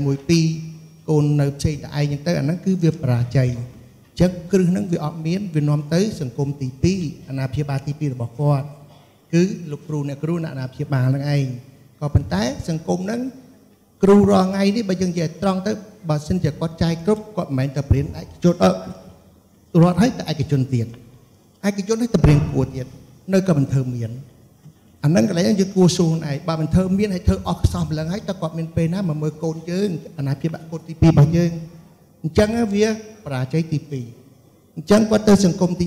3សង្គមទី3គឺគេហៅថាផ្ទះទី2របស់គាត់នៅស្រុកគេនៅប្រទេសអភិវឌ្ឍនៅប្រទេសជុំកាមចំនួន គេមានវិជ្ជមណ្ឌល Boy and Girl Club YMCA ឬក៏ After School Program ទៅដើម្បីឲ្យក្មេងនឹងធ្វើ homework រៀនតតបាល់ហើយប្រឹក្សាយ៉ាងទៅវាមានការតម្រង់ទិសប៉ុន្តែបើយើងនិយាយកន្លែងហ្នឹងឧទាហរណ៍បើទៅទីក្រុងវិញយើងចង់មានសួនលេងផងអត់មានបណ្ណាល័យទៅមើលទេហើយអត់មានអ្នកណាគេទៅជាមសាលាហើយអនាម័យឲ្យល្អទេខ្ញុំធ្លាប់និយាយម្ដងគេថាខ្ញុំមើលងាយរដ្ឋាភិបាល ទៀនឌីលការអភិវឌ្ឍមិនមែនទេយើងនិយាយពីភាពជាក់ស្ដែងតើស្ថានភាពក្នុងសាលាពេលអត់មានរៀននេះយ៉ាងម៉េចអញ្ចឹងក្មេងវាមិនដឹងរត់ទៅសង្គមណាមានតែសង្គមទី4សង្គមទី4គឺថាខ្យល់ផាត់ទៅណាមកហ្នឹងហើយសូម្បីតែក្មេងដែលមានកូនមហាស្ត្រីរងថ្ងៃចាយលុយទៅទិញក្បាលគេដើម្បីធ្វើមិត្តហើយក្មេងដែលខ្សោយគេទិញដើម្បីប្រើទៅធ្វើទិញគ្រឿងញៀន ហើយមួយថ្ងៃមួយថ្ងៃអត់រៀនទេគឺតែបដុំផ្ទះគឺអ្នកមានដែលថាម៉ែឪអ្នកមានតាមខេត្តចំនួនហ្នឹងបើជួបផ្ទះទិញផ្ទះនៅទីក្រុងហ្នឹងប្រឡែងកូនចោលហើយអាប្រព័ន្ធអស់ហ្នឹងហើយដែលថាយើងវាខ្វះកនឹងការមានពេកយើងភ្លេចគេថារោស៊ីមានដើម្បីកូនប៉ុន្តែកូនរងថ្ងៃនេះយើងអត់ដែលមើលយើងមិនសូវយកចិត្តទុកដាក់ហើយយើងប្រឡែងចោលហើយដល់ហើយចុងក្រោយគាត់ថា COVID នេះធ្វើតែយើងបាត់ហើយ COVID នៅផ្ទះគាត់ទៅមើលកូនមួយមួយចង់ស្លាប់ខ្លួនមួយមួយចង់អាក ទៅថាវាពិបាកខ្លាំងណាចុះកូនមួយពីរមើលវាពិបាកម្លឹងម្លឹងចុះក្នុងសាលាមួយមួយគេមើលសិត10000 20000នាក់សាលាខ្ញុំ15000នាក់ហើយគ្រូប្រាក់ខែមហាសែនតិចបងមិនស្មើគាត់ញ៉ាំបាយមួយពេលទេណាហើយបើចូលក្រៅគេអត់ស្មើមួយមួយម៉ោងរបស់គាត់ទេអញ្ចឹងចុះហេតុអ្វីពេលកូនសុំលុយទៅរៀនវាយគ្នាធាក់ឯប្រជើងបើថាយកលុយទៅទិញសៃញីប្រពន្ធ2 3បាទណា អាកន្លែងហ្នឹងឯងដែលថាយើងមិនទាន់យល់អំពីអ្វីសំខាន់មិនសំខាន់ហើយយើងមិនទាន់សម្រួចពីព្រោះសង្គមមួយមួយបន្តដូចគ្នាវាទៅជាវប្បធម៌ habit អញ្ចឹងហើយបានថាបើចង់ឲ្យប្រជាពលរដ្ឋយើងមានប្រសិទ្ធភាពមានវប្បធម៌មានគេហៅថារំនឹងនៅក្នុងខ្លួនដើម្បីប្រកួតជ័យអភិវឌ្ឍតើតែយើងតម្រង់ទិសពីក្រោមពីក្រោមហ្នឹងដើម្បីឲ្យសកម្មមាតសកម្មមូលជាមួយនឹងការអភិវឌ្ឍប្រទេសឥឡូវនេះប្រទេសវាអភិវឌ្ឍ ប៉ុន្តែប្រជាពលរដ្ឋមួយចំនួន ដែលគ្រប់គ្រងកាន់កាប់ខាងហ្នឹងយកជើងកវីទឹកឡើងវល់ពេលហ្នឹងហើយមិនមែនបានយកជួយជោគជួយចែវទេបើសិនតែបានជួយជោគចែវប្រហែលជាអភិវឌ្ឍលឿនតាមដោយគោលការណ៍របស់រដ្ឋាភិបាលបើយើងអញ្ចឹងបាទបាទខ្ញុំសូមបញ្ជាក់កន្លែងបន្តិចអឺលោកអុកញ៉ាខ្ញុំគិតថាខ្ញុំចាប់បាននៃដែលចង់និយាយពាក់ព័ន្ធនឹងពាក្យអប់រំឬក៏ពាក្យគ្រឹះអឺ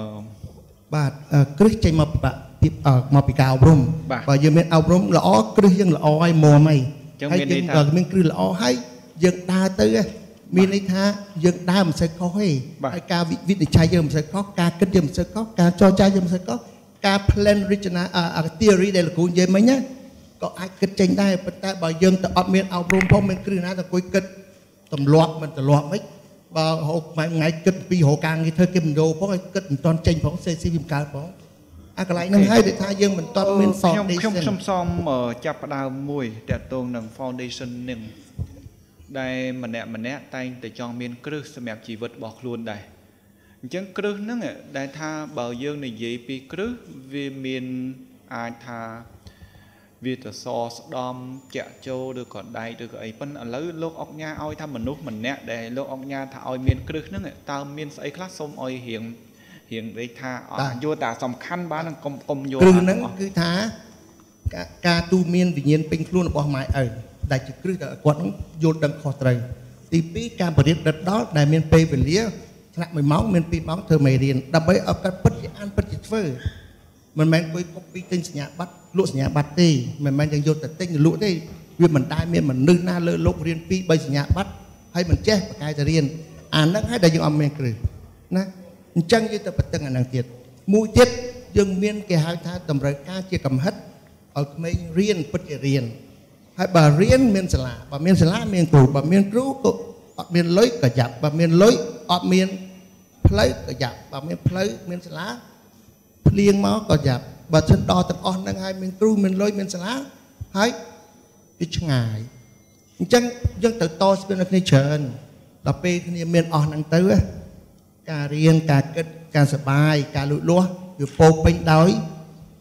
ធម្មជាតិអញ្ចឹងក្មេងវាមានកម្លាំងធម្មពលដូចគេឯងហើយ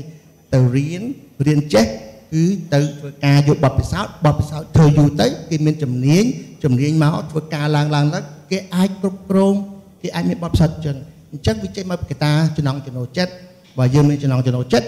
យើងមានចំណង់ចំណូលរៀនបើយើងមានចំណង់ចំណូលរៀន យើងមានចំណង់ចំណូលធ្វើបើធ្វើគឺយើងខ្លាយទៅជាអ្នកគេហៅ experience expert ហើយអានឹងហើយជាគ្រឹះសិទ្ធិទឹកដែលនាំឲ្យប្រជាពលរដ្ឋប្រទេសណាដោយប្រទេសណាមានការលូតលាស់ចឹងណាបាទអរគុណខ្ញុំខ្ញុំហាក់បីដូចជាចាប់បាន3ទី1ដើម្បីឲ្យប្រជាជាតិនីមួយនីមួយៗមានអឺគេហៅគ្រឹះនៃជីវិតរបស់ខ្លួន គឺលុះត្រាតែប្រជាជាតិនឹងគឺមានការយល់ដឹងខុសត្រូវបានច្បាស់លាស់ ហើយទី2គឺពេលដែលគាត់រៀនសូត្រគឺមាន space មានឱកាសសម្រាប់គាត់សិក្សាស្រាវជ្រាវខ្លួនឯងបន្ថែមហើយទី3គឺមានជំនាញពិតប្រាកដមានចំណេញឲ្យគ្នារើមានគ្រូបង្រៀនឲ្យគ្នា មានសាលាឲ្យគ្នារៀនបាទបាទហើយនឹងមានគេហៅថាពេលវេលារៀនដែលជាស្តង់ដារយើងមិនបាច់ទៅទៅសាលា3 4ទេសាលាមួយព្រឹកចេញមកវិញដល់ល្ងាច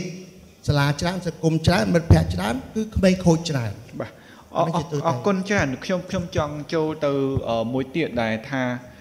សំខាន់អំបញ្ញមិញយើងរកឃើញពាក្យដែលសំខាន់គឺមានន័យថាដើម្បីឲ្យមនុស្សយើងមានទម្លាប់ធ្វើការងារឲ្យខ្លាំងក្លានិងមានប្រសិទ្ធភាពខ្ពស់គឺទី1មានគ្រឹះល្អទី2មានចំណង់អឺអាចថាមានចំណង់អឺចង់ល្អហើយទី3អាចថាធ្វើល្អហើយនិងទី4គឺមានប្រយោជន៍ល្អអឺ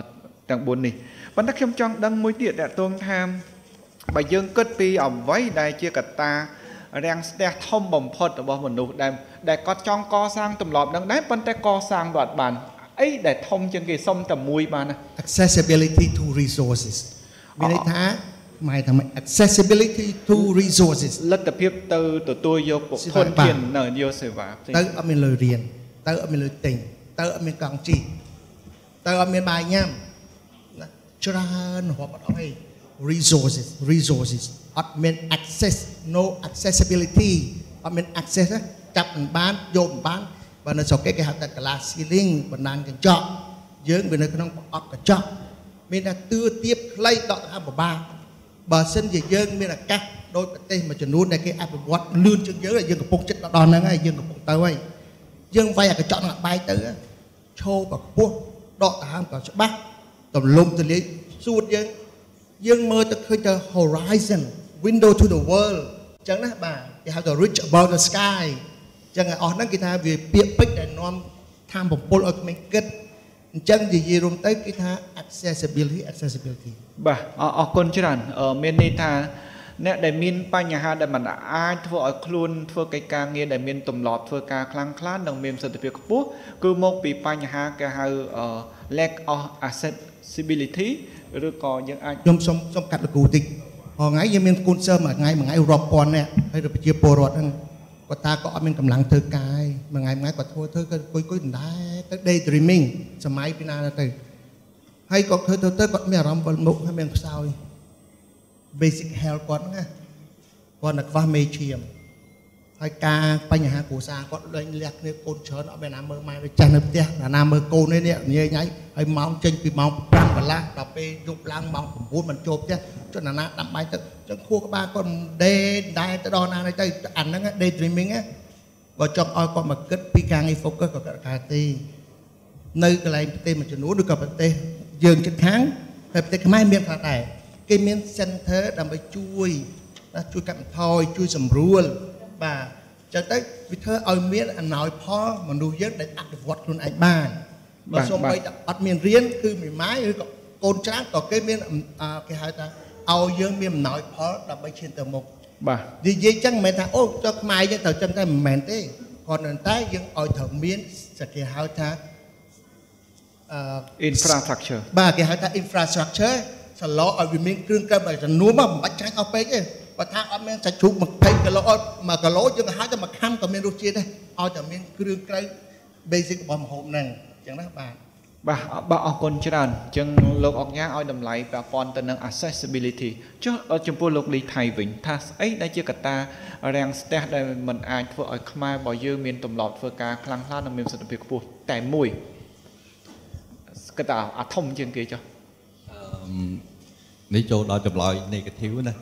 អត់ទេវាយើងចង់យកអីដែលគេហៅកត្តារាំងស្ទះបាទកត្តារាំងស្ទះខ្ញុំនៅតែដូចខ្ញុំបានជម្រាបមុនអញ្ចឹងមនុស្សយើងពោះដែលរាំងស្ទះមិនចង់ធ្វើអីហ្នឹងគឺមកធ្វើហើយវាអត់ប្រយោជន៍បាទអត់ប្រយោជន៍អត់ធ្វើហ្មងបើសិនជាអត់ធ្វើហ្នឹងស្លាប់ប្រហែលជាមនុស្សត្រូវធ្វើហើយបាទបើយើងដែលខ្ញុំតែងតែនេះ យើងនិយាយពីបទពិសោធន៍តខ្លួនឧទាហរណ៍ថាការយើងនៅក្មេងៗចោះអូម៉ាថាមនុស្សប្រុសត្រូវតែតាមស្រឡាញ់មនុស្សស្រីអញ្ចឹងណាបាទអង្គុយចាំ3 4ម៉ោងអត់មានល្អូទេណាបាទហើយបើសិនជាគ្រួសារវិញការប្រហែល5 6ឆ្នាំគ្រាន់តែ5 10នាទីតែងខ្លួនក៏ខឹងដែរបាទព្រោះវាមិនមែនជាសំខាន់បាទបើការមុនសំខាន់ណាបាទតែអញ្ចឹងចាំប្រហែលតស៊ូមិនក៏ប្រឹងប្រែងដែរបាទ អញ្ចឹងខ្ញុំគិតថាអ្វីដែលចំណុចធ្វើឲ្យរាំងស្ទះហ្នឹងគឺអាចថាយើងអាចនិយាយថាទីមួយបំណងប្រាថ្នាក៏បានបាទហើយបើយើងនិយាយថាធ្វើទៅអត់ប្រយោជន៍មិនឃើញបានអីជាជាប្រយោជន៍មើលឃើញដុំកពួនក៏ធ្វើឲ្យមនុស្សមិនយកចិត្តទុកដាក់ដែរតែបើសិនជាធ្វើហាក់មិនធ្វើនាំឲ្យគាត់ស្លាប់ទោះជាមិនក៏គាត់ធ្វើដែរបាទបាទអរគុណបាទអរគុណច្រើនចំពោះលោកលីថៃសូមអបអរសាទរមួយមានន័យថាគាត់អត់ជាបដិស្មោះត្រង់ណា ពាក្យតែមួយម៉ាត់គត់គឺប្រយោជន៍ឡើងក៏ប្រយោជន៍មិនឡើងក៏ដោយសារប្រយោជន៍ចុះលោកស្រីជាសុខិវិញចាដោយសារខ្ញុំនៅវិស័យឯកជនអញ្ចឹង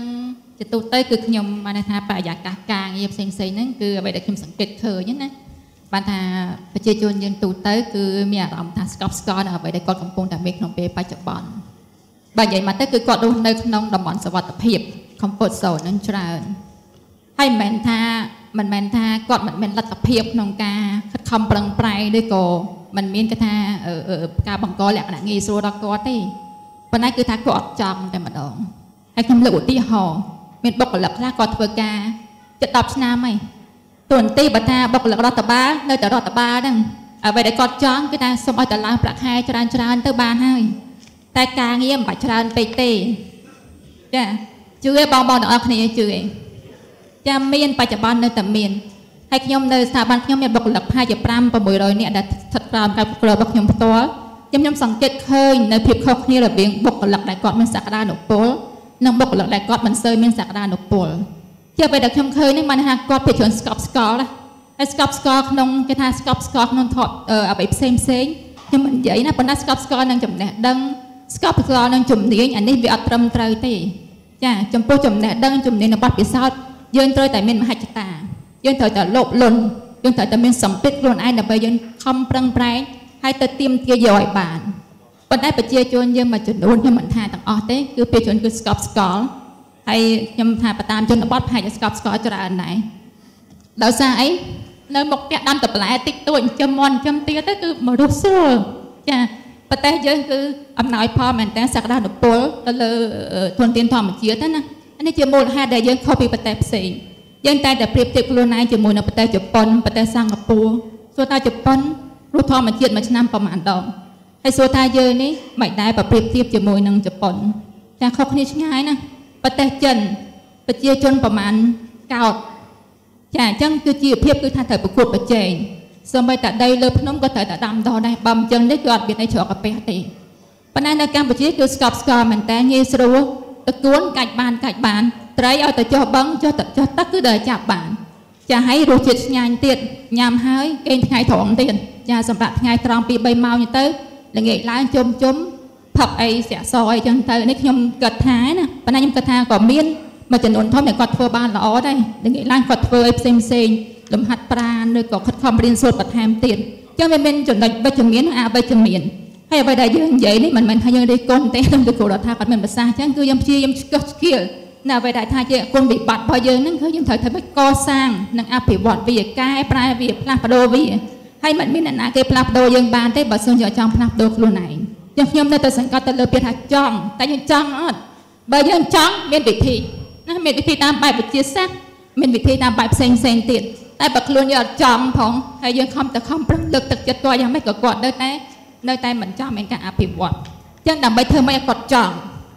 ឲ្យមានការផ្លាស់ប្ដូរខ្ញុំលើកឧទាហរណ៍មួយពាក់ព័ន្ធទៅនឹងគេហៅថាទ្រឹស្ដី catfish ណា catfish effect អឺមិនដឹងបកខ្មែរថាម៉េចទេពេលច្រើនសារជាតិនៃនៃត្រីសាឌីនគឺនៅពេលដែលយើងនេសាទចេញពីសមុទ្រមកគឺគាត់រត់បានយូរវិញដោយសារអីដោយសារគាត់ inactive អត់សូវមានសកម្មភាពទេ ចឹងអ្នកនេសាទដើម្បីធ្វើឲ្យត្រីហ្នឹងរស់បានយូរនៅពេលដែលគាត់នេសាទហើយទៅដល់កំពង់ផែទៅដល់ផែហ្នឹងគឺគាត់ត្រូវដាក់ត្រី catfish ចូលទៅក្នុងធុងហ្នឹងជាមួយគ្នាដើម្បីធ្វើឲ្យត្រី catfish ហ្នឹងធ្វើម៉េចទៅទៅជុលទៅ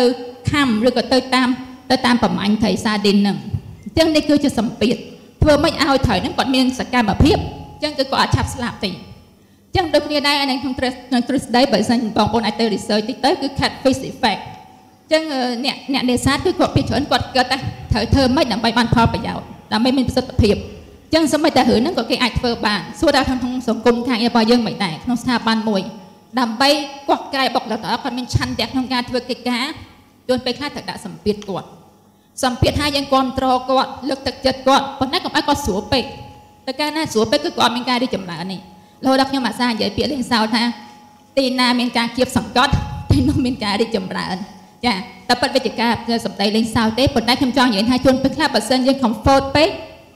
យើងអត់អាចរកចំណុចដែលយើងផ្លាស់ប្ដូរបានទេយើងអាចអភិវឌ្ឍខ្លួនឯងបានទេអញ្ចឹងជួនពេលខ្លះតែដាក់សម្ពាធបន្ថែមទៀតហើយសម្ពាធហើយយើងត្រូវជួយ monitor គាត់ជួយជ្រោមជ្រែងគាត់លើកទឹកចិត្តគាត់ដើម្បីគាត់ដូចទៅមុខចាសូមអរគុណបាទអរគុណច្រើនមែនតើ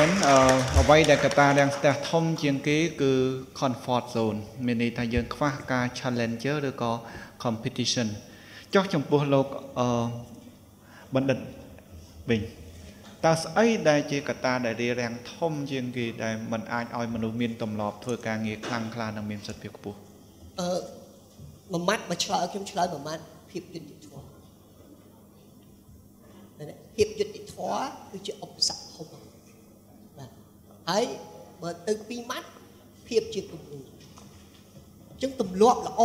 សម្រាប់ប្រជាជាតិមួយ ក៏តែមានស្អីជាគំរូហើយខ្ញុំឯកភាពដែរអាគំរូហ្នឹងដែលវិឈានទៅរកប្រយោជន៍មនុស្សកើតឡើងមកមានជីវិតដូចសត្វចឹងបាទដូចតែសត្វចឹងប៉ុន្តែមនុស្សគឺជាសភាវៈរស់មួយ ដែលមានប្រាជ្ញាហ្នឹងខ្ពស់ជាងសត្វខ្ពស់ជាងគេខ្ពស់ជាងសត្វគេវាស់ហើយហើយបាទចឹងដោយសារតែខ្ពស់ជាងគេហ្នឹងតែបើមនុស្សហ្នឹងអត់រៀនទេអត់សិក្សាទេដូចតែសត្វចឹងបើអត់ខុសពីសត្វទេ អញ្ចឹងខ្ញុំលើកឧទាហរណ៍ទី2ចាំបានមនុស្សដើម្បីឲ្យប្រាជ្ញានឹងអាចអាចរែងលូតលាស់បានហ្នឹងតើតមនុស្សហ្នឹងទៅរៀនដូចកបិតយើងអញ្ចឹងវាមានកបិតស្រួចហើយប៉ុន្តែទៅសំលៀងដើម្បីឲ្យទៅមុតហើយអត់ប្រើបានខ្ញុំលើកឧទាហរណ៍ចេះខ្ញុំលើកឧទាហរណ៍ថា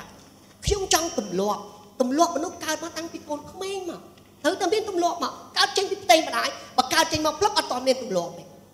បាទប៉ុន្តែគ្រាន់តែចេញផុតពីផ្ទៃម្ដាយមកចាប់ដើមមានទម្លាប់ ហើយទម្លាប់ហ្នឹងទម្លាប់ជាធម្មជាតិឬទម្លាប់ដោយអ្នកនៅជុំវិញខ្លួនចឹងភ្នែកគាត់មើលតិចគាត់ស្ដាប់លឺឪពុកម្ដាយនិយាយអញនិយាយហែងឧទាហរណ៍ណាកូនហ្នឹងចាប់យកព្រាមនឹងគឺជាភាពជាគំរូនេះខ្លាំងណាស់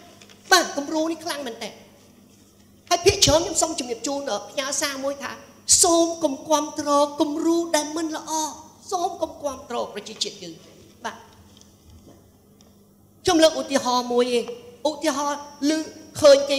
ជេរគ្នាឧទាហរណ៍បាទប្រើពាក្យមិនសមរម្យអសរោះតាម Facebook អីខ្ញុំឃើញចុច like ទៀតចុច like ទៀតប៉ុន្តែនឹងមុននឹងយើងថាគេមិនល្អត្រូវប្រយ័ត្នផងយើងថាគេមិនល្អហ្នឹងយើងអាងអីចាំខ្ញុំនិយាយបកត្រឡប់ក្រោយវិញមកហ្នឹងអាងលើវិទ្យាសាស្ត្រមុននឹងខ្ញុំថាមនុស្សម្នាក់ល្អមុននឹងខ្ញុំថាមនុស្សម្នាក់មិនល្អមិនមែនខ្ញុំថាទេ តែទ្រឹស្ដីវិទ្យាសាស្ត្រវាប្រាប់ខ្ញុំ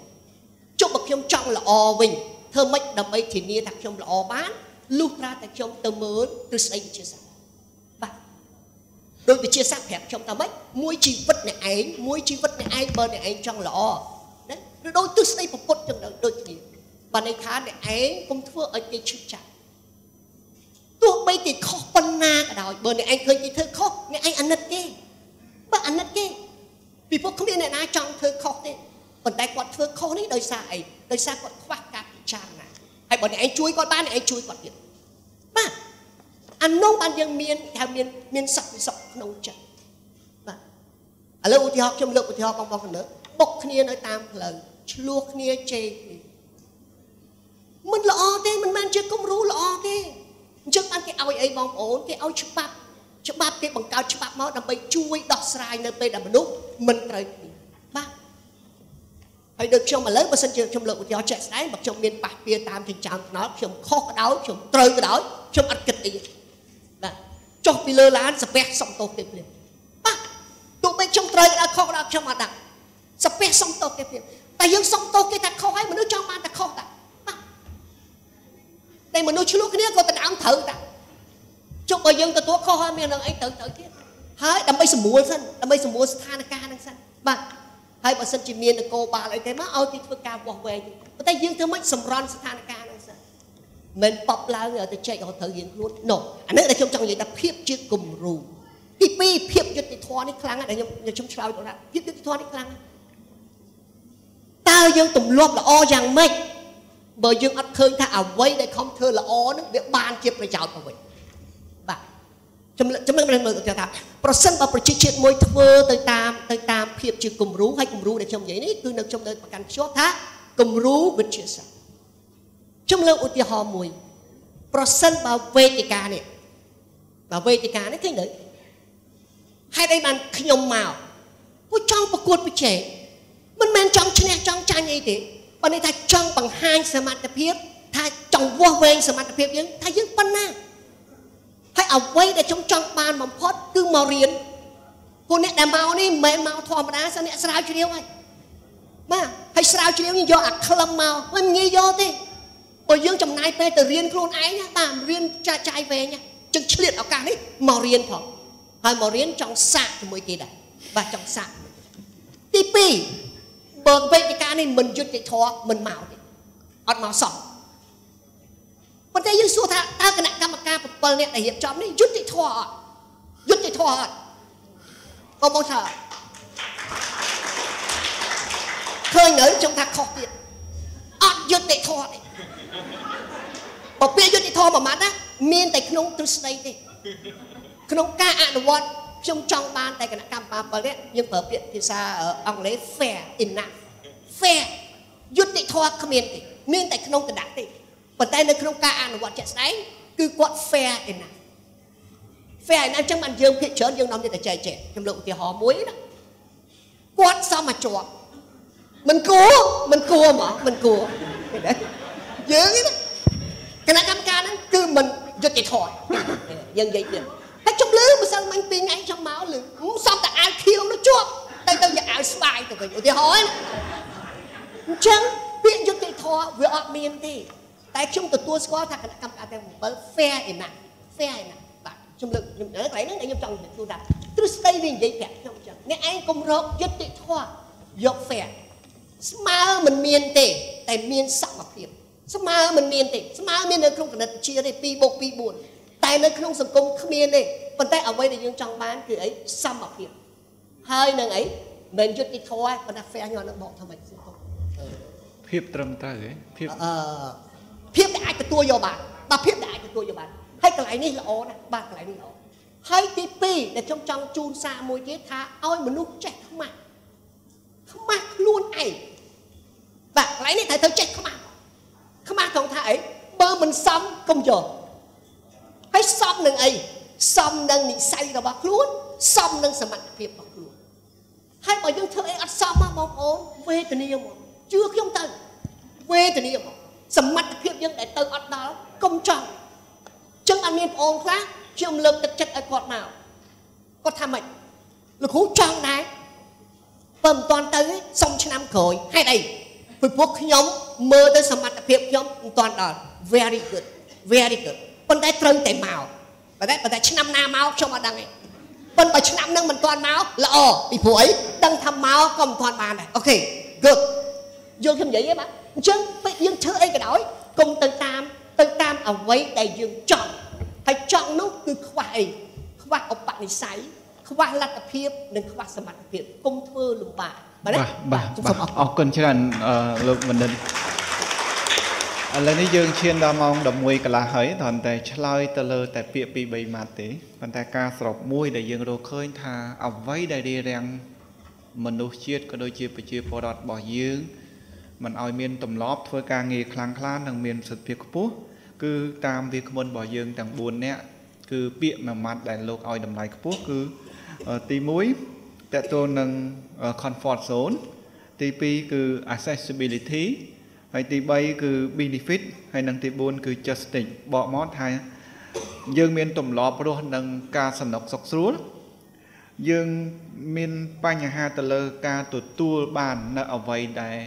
ជា access ដែលយើងចង់ទទួលហើយអត្ថប្រយោជន៍និងពាក់ព័ន្ធនឹងរឿងយុត្តិធម៌ឥឡូវនេះខ្ញុំសូមផ្ដល់ឱកាសឲ្យអ្នកដែលចូលរួម3សំណួរសូមអាចអញ្ជើញមានសំណួរសូមមេត្តាលើកដៃឡើងឱកាសតែ3សំណួរទេអ្នកដែលមានសូមលើកមុនសូមងើបមុនមានឱកាសទទួលបានមុនបាទសូមអញ្ជើញមានសំណួរទេតកតងមកវាគ្មិនរបស់យើងពាក់ព័ន្ធនឹងប្រធានបទ ការកសាងទម្លាប់ឲ្យខ្លាំងក្លានិងមានប្រសិទ្ធភាពខ្ពស់ហូហូមែនបងប្អូនហេវបាយអត់ទេបាយច្រើនតែមិញនំប៉័ងមានអីច្រើនអ្នករៀបចំមើលពិចារណារឿងបាយផងរឿងប្រជាជាតិអីរឿងបងប្អូនយើងមករឿងច្រើនយ៉ាត់ខ្វះបើខ្វះសកូនំប៉័ងនំអីទុកអីហើយឃើញវគ្គមុននៅនំប៉័ងច្រើនចាអឺ សូមគោរពអង្គប្រជុំទាំងមូលខ្ញុំជាបឋមសូមអរគុណដែលវាគ្មិនទាំង5រូបបានចែករំលែកបទពិសោធន៍ដ៏ល្អល្អខ្ញុំចង់ជម្រាបសួរថាតើលោកវាគ្មិននិងលោកស្រីវាគ្មិនយល់ថា concept នៃពេលវេលាគឺជាអ្វីដែលរាំងរារាំងពលរដ្ឋយើងមិនអោយធ្វើការប្រកបដោយប្រសិទ្ធភាពដែរទេពីព្រោះថាខ្ញុំធ្លាប់ ទៅប្រទេសគេខ្លះដែរគឺថា concept ខុសគ្នាតែម្ដងជនជាតិអឺរ៉ុប20នាទីរបស់គាត់ហ្នឹងគឺសំខាន់ណាស់ប៉ុន្តែបើជនជាតិខ្មែរយើងជាពិសេសបងប្អូននៅតាមជនបទហ្នឹងបើថាចំណាយពេលមួយព្រឹកជួនកាលគ្រាន់តែអង្គុយលេងផ្ទះអ្នកចិត្តខាងហ្នឹងចំណាយពេលទំនេរហើយចង់និយាយថាពេលវេលាហាក់ដូចជាធនធានមួយដែលលើសលប់ចំពោះជនជាតិដែលគេរីចម្រើនខ្ញុំគិតថាគេចាត់ទុក អ្វីដែលមានតម្លៃសម្រាប់គេបំផុតហ្នឹងគឺពេលវេលាគឺជាធនធានដ៏កម្របំផុតអឺខ្ញុំចង់ជំរាបសួរលោកវិក្មិនទាំងអស់ថាតើធ្វើម៉េចដើម្បីឲ្យប្រជាពលរដ្ឋយើងផ្ដល់តម្លៃលើពេលវេលាកុំឲ្យថាការងារនេះធ្វើថ្ងៃស្អែកក៏បានឬក៏ពេលវេលា2 3ម៉ោងមិនមានប្រយោជន៍អីចឹងចា៎អរបាទគុណអរគុណច្រើនអរគុណច្រើនបងស្រី OK សំណួរទី2អាចបញ្ជាក់បន្តិចផងដើម្បីឲ្យដឹងថាមកពីខាងណា OK សំណួរទី2 បងស្រីមិញចេញមកពីខាងណាដែរសូមឲ្យគាត់បង្ហាញតិច OK អរគុណច្រើនបងស្រីមកឈ្មោះអ្វីដែរបងស្រីចាខ្ញុំឈ្មោះសុនសុរិស្នាប្រធានយុវដ្ឋាន Francophonie នៃក្រសួងការបរទេសបាទអរគុណរីករាយដែលបានស្គាល់បងស្រីអូខេសូមសូមទិសទី2អឺចាអឺសូមថ្លែងអំណរគុណចំពោះអឺវាគ្មិន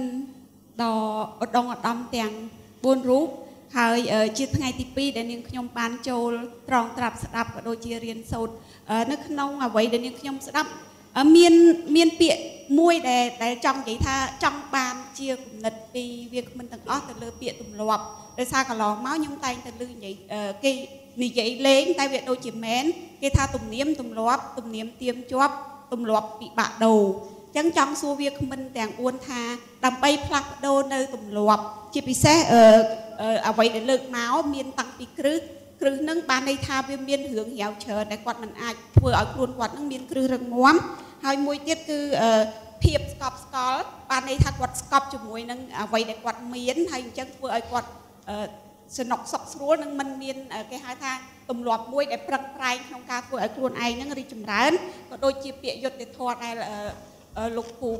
អឺសាស្ត្រាចារ្យបានមានប្រសាសន៍ថាវាមាននៅក្នុងទ្រឹស្ដីតែភាពយុត្តិធម៌ប្រហែលជាពិបាកនៅក្នុងការធ្វើឲ្យមានពិតប្រាកដនៅក្នុងសង្គមអញ្ចឹងចង់បានជាគំនិតពីអឺវាគ្មិនទាំង4ទៅលើថាតើធ្វើដូចម្ដេចដើម្បីឲ្យយើងដូរនៅទម្លាប់តែវាធ្វើឲ្យបាទអឺបាទអឺយើងអឺ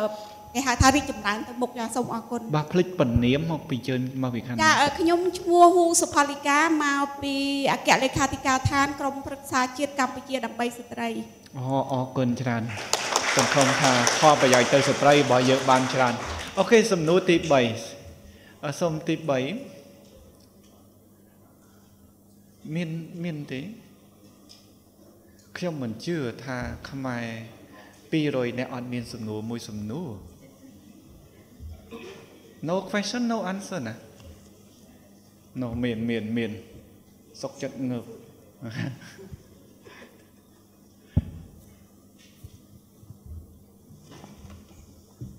អឺនាងខ្ញុំឈ្មោះយ៉ែមស៊ីវននាងខ្ញុំអឺមកពីខាងមន្ទីរពេទ្យកាម៉ែតចានាងខ្ញុំមានសំណួរប៉ុន្តែមិនដូចនេះនាជាការសុំយោបល់ពីវាគ្មិនទាំង4រូបចានាងខ្ញុំចង់សួរថា បើយើងនិយាយពីទម្លាប់គឺទម្លាប់មានសារៈសំខាន់សម្ពើចំពោះប្រជាពលរដ្ឋឬក៏នេះគ្រប់គ្នាប៉ុន្តែខ្ញុំចង់ថាតើធ្វើយ៉ាងណាដើម្បីឲ្យគាត់ភ្ញាក់ពីគេងឡើងគាត់មានធម៌ពលគ្រប់គ្រាន់ក្នុងការទៅធ្វើទម្លាប់ល្អរបស់គាត់ឬក៏ក្តីសុបិនរបស់គាត់ដែលគាត់អឺចាមានមាន plan ទុកហើយប៉ុន្តែគាត់ មានកម្លាំងធ្វើអញ្ចឹងថាតើធ្វើម៉េចដើម្បីឲ្យមានធម៌ពលគ្រប់គ្រាន់ក្នុងការអនុវត្តចា៎បាទអរអរគុណច្រើនបងប្អូនស្រីខ្ញុំគិតថាសំណួរបាន3ហើយឥឡូវនេះដោយកត្តាពេលវេលា យើងចង់ឲ្យអឺគណៈកម្មការអីអឺវាគ្មិនរបស់យើងឆ្លើយក្នុងកំណត់មួយសូមរយៈពេល3នាទីចោះដើម្បីងាយក្នុងការគ្រប់គ្រងពេលវេលា មានន័យថាសំណួរមាន3ទី1តើតួងធ្វើម៉េចដើម្បីឲ្យប្រជាជាតិរបស់យើងឲ្យតម្លៃទៅលើពេលវេលា ទី2តើធ្វើម៉េចដើម្បីអាចមនុស្សកែប្រែទម្លាប់របស់ខ្លួនបានហើយនឹងទី3តើធ្វើម៉េចឲ្យយើងភ្ញាក់ពីគេងឡើង មានធម៌ពលទៅធ្វើការឬក៏បំពេញនៅក្តីសុបិនរបស់យើងអញ្ចឹងវាគ្មិននីមួយនីមួយអាចឆ្លើយទាំង3ក៏បានឆ្លើយតែមួយក៏បាន ដោយសារតែពេលវេលាវា3នាទីអញ្ចឹងខាងខាងណាអញ្ជើញមុនអូខេឯកឧត្តមបណ្ឌិតអញ្ជើញមុនសូមអញ្ជើញជូនតាមសំណូមពរបាទខ្ញុំខ្ញុំសូមអរគុណហើយខ្ញុំសូមឆ្លើយដោយសារពេលវេលាស្រួលទេប្រសិនបើយើងឃើញមនុស្សណាម្នាក់ចាយពេលវេលាដោយខ្ជះខ្ជាយហើយយើងជាអ្នកដឹកនាំគាត់ឥឡូវខ្ញុំលើកឧទាហរណ៍ខ្ញុំកូនខ្ញុំខ្ញុំឃើញកូនខ្ញុំចាយពេលវេលាដោយខ្ជះខ្ជាយមិនមែនជាកំហុសរបស់កូនខ្ញុំជាកំហុសរបស់ខ្ញុំពីព្រោះខ្ញុំអត់បានដឹកនាំវាឲ្យចេះប្រើប្រាស់ពេលវេលាអញ្ចឹងវាបញ្ជាក់ច្បាស់ហ្មងអ្នកដែលខ្ជះខ្ជាយពេលវេលាវាបញ្ជាក់ថាមនុស្សនឹងអត់មានផែនការបើមនុស្សនឹងផែនការគឺនឹងមនុស្សប្រកាសជាប្រើប្រាស់ពេលវេលាដោយមានតម្លៃអញ្ចឹងកន្លែងហ្នឹងខ្ញុំឆ្លើយខ្លីទី2ទំនៀមទម្លាប់ទំនៀមទម្លាប់អ្នកណាអ្នកបង្កើតសង្គមអ្នកបង្កើតប៉ុន្តែបង្កើតចេញពីណាបង្កើតចេញពីមនុស្សម្នាក់ដល់មនុស្សទម្លាប់របស់មនុស្សហ្នឹងដូចចាំខ្ញុំប្រើពាក្យគំរូហ្នឹងមនុស្សឃើញគំរូនឹងល្អមនុស្សចាប់ផ្ដើមធ្វើ 2នាក់ធ្វើ3នាក់ធ្វើ4នាក់ធ្វើ10នាក់ធ្វើคลายទៅជាទំនៀមទម្លាប់ប៉ុន្តែដោយដោយសារទម្លាប់នឹងបង្កើតឡើងដោយមិនប្រើប្រាស់វិទ្យាសាស្ត្រអញ្ចឹងទម្លាប់នឹងនៅអញ្ចឹងនៅរហូតអញ្ចឹងទៅប៉ុន្តែវិទ្យាសាស្ត្រពាក្យថាវិទ្យាសាស្ត្រទ្រឹស្ដីទ្រឹស្ដីនឹងដូរដូរបាទដូររហូតអញ្ចឹងបានយើងអាចបង្កើតទំនៀមទម្លាប់ប្រពៃណីបានដោយយោងទៅលើការផ្លាស់ប្ដូរនៃវិទ្យាសាស្ត្រមនុស្សអ្នកបង្កើតតាឥឡូវខ្ញុំសួរថាបងបងនៅទីនេះមានចូលមកលុបអត់ មានចូលមកលុបអត់ហ៊ានតែចូលអត់បាយលើហ្នឹងបាទមិនចឹងប៉ុន្តែពីដើមគេចូលមកលុបតាពីដើមបងបងដែលលឺថាមនុស្សប្រុសម្នាក់ចិញ្ចឹមគ្រួសារបានមកវងបានអីចិញ្ចឹមបានព្រោះពីដើមញ៉ាំតែបាយហ្នឹងញ៉ាំតែបាយហ្នឹងមានព្រលឹមឡើងណាទៅរេស្តូរ៉ង់ណារកកាហ្វេរកអ៊ីនធឺណិតរក iPhone រកអីណាមានចំណាយអញ្ចឹងណាអញ្ចឹងចាំរស់តែឥឡូវអញ្ចឹងអត់បានទេឃើញយើងដូរនៅ អញ្ចឹងទម្លាប់របស់យើងនេះត្រូវតែដូរបើខ្ញុំលើកឧទាហរណ៍នេះក្នុងក្នុងបន្ទប់យើងនេះប្រសិនបើមកពីផ្ទះហើយអត់មានបានភ្លេចទូរស័ព្ទនៅផ្ទះហ่ะអត់នៅទេអត់នៅទេទៅបាត់ហើយបាទទៅយកសិនទៅយកទូរស័ព្ទមកសិនបានមកអង្គុយបាទនឹងតែខ្ញុំចង់និយាយថាហេតុអីបានយើងអញ្ចឹងពីព្រោះអត់អានឹង brand យើងលែងធ្វើការវាជាទម្លាប់បាទណាប៉ុន្តែទម្លាប់នឹងល្អឬមិនល្អអាស្រ័យលើយើងទី3ឆ្លើយទៅនឹងសំណួរបងអូនថាអឺធ្វើម៉េចឲ្យមានបង្កើតធម៌ពលបានអឺខ្ញុំវិលត្រឡប់មកវិញ ហេតុអីបានយើងអត់ធម៌ពលធ្វើដូចខ្ញុំថាអញ្ចឹងធ្វើអត់ប្រយោជន៍ធ្វើអត់ឃើញបានផលធ្វើទៅបានតែគេ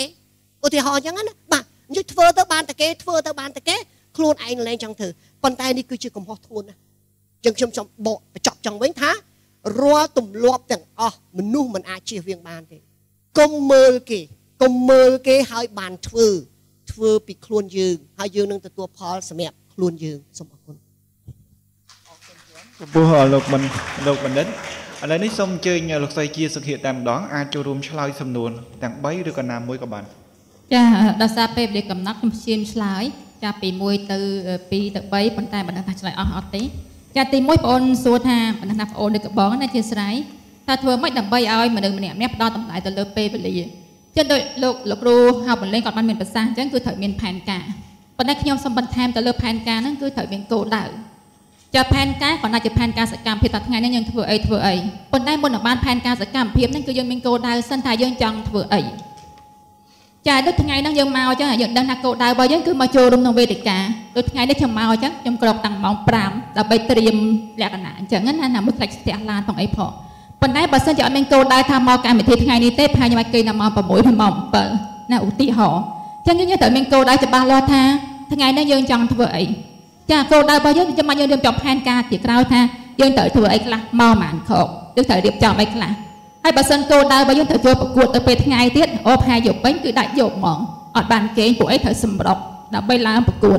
ចឹងដូចគ្នាដែរបើសិនមិនដូចម្នាក់អត់មានគោលដៅច្បាស់លាស់ទេគឺពេលវេលារបស់គាត់គឺអត់មានន័យគាត់ចាយពេលវេលាចោលតែម្ដងចាអញ្ចឹងគោលដៅរបស់យើងមានគោលដៅប្រចាំថ្ងៃគោលដៅប្រចាំសប្តាហ៍ប្រចាំខែឬគោលដៅក្នុងជីវិតរបស់យើងទៀតតែយើងចង់ធ្វើអីគេអញ្ចឹងមនុស្សទាំងអស់បើរស់នៅមានគោលដៅទេហាក់ដូចជាអត់ដឹងថាតើខ្វែចង់ទៅណាដូចដូចទូកដាតលេអញ្ចឹងណាអត់ដឹងថាចង់ទៅណាអញ្ចឹងត្រូវសិតគោលដៅច្បាស់លាស់សិនពេលនោះគាត់នឹងដឹងថាតើប៉ិតពេលវេលាគឺសំខាន់ណា24ម៉ោងដូចគ្នាគាត់តែការប្រើប្រាស់គឺអាចខុសគ្នាប្រសិទ្ធភាពខុសគ្នាចាទៅពេលគឺពាក់ព័ន្ធនឹងទម្លាប់ទម្លាប់ថាតាប្របាក់បដោ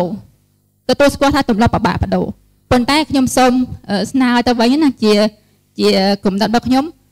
ជួយបងប្អូនធ្វើការសិក្សាស្រាវជ្រាវអំពីទម្លាប់ទាំង7របស់មនុស្សដែលមានប្រសិទ្ធភាព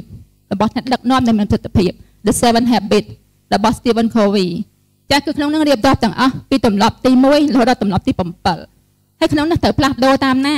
ហ្នឹងគឺតាការតាំងចិត្តរបស់យើងថាតើយើងចង់ផ្លាស់ប្ដូរអត់តែបើអត់ចង់ទេទោះជាយើងរៀនហើយក៏អត់ប្រយោជន៍ដែរចឹងខ្ញុំនៅនិយាយមកថាតើយើងចង់ឬមិនចង់ចាហើយទី3គឺពាក់ព័ន្ធនឹងថាថាធ្វើមិនមានធម្មពល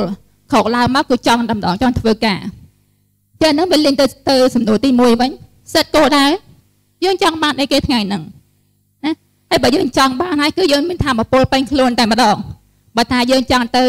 ទៅជួនមិត្តស្រីយើងទៅសពភេងផឹកឡើងគឺក្រោកឡើងរៀបខ្លួនរួចជាស្រេចតែម្ដងណាទៅចាំនៅមាត់ទ្វារគេ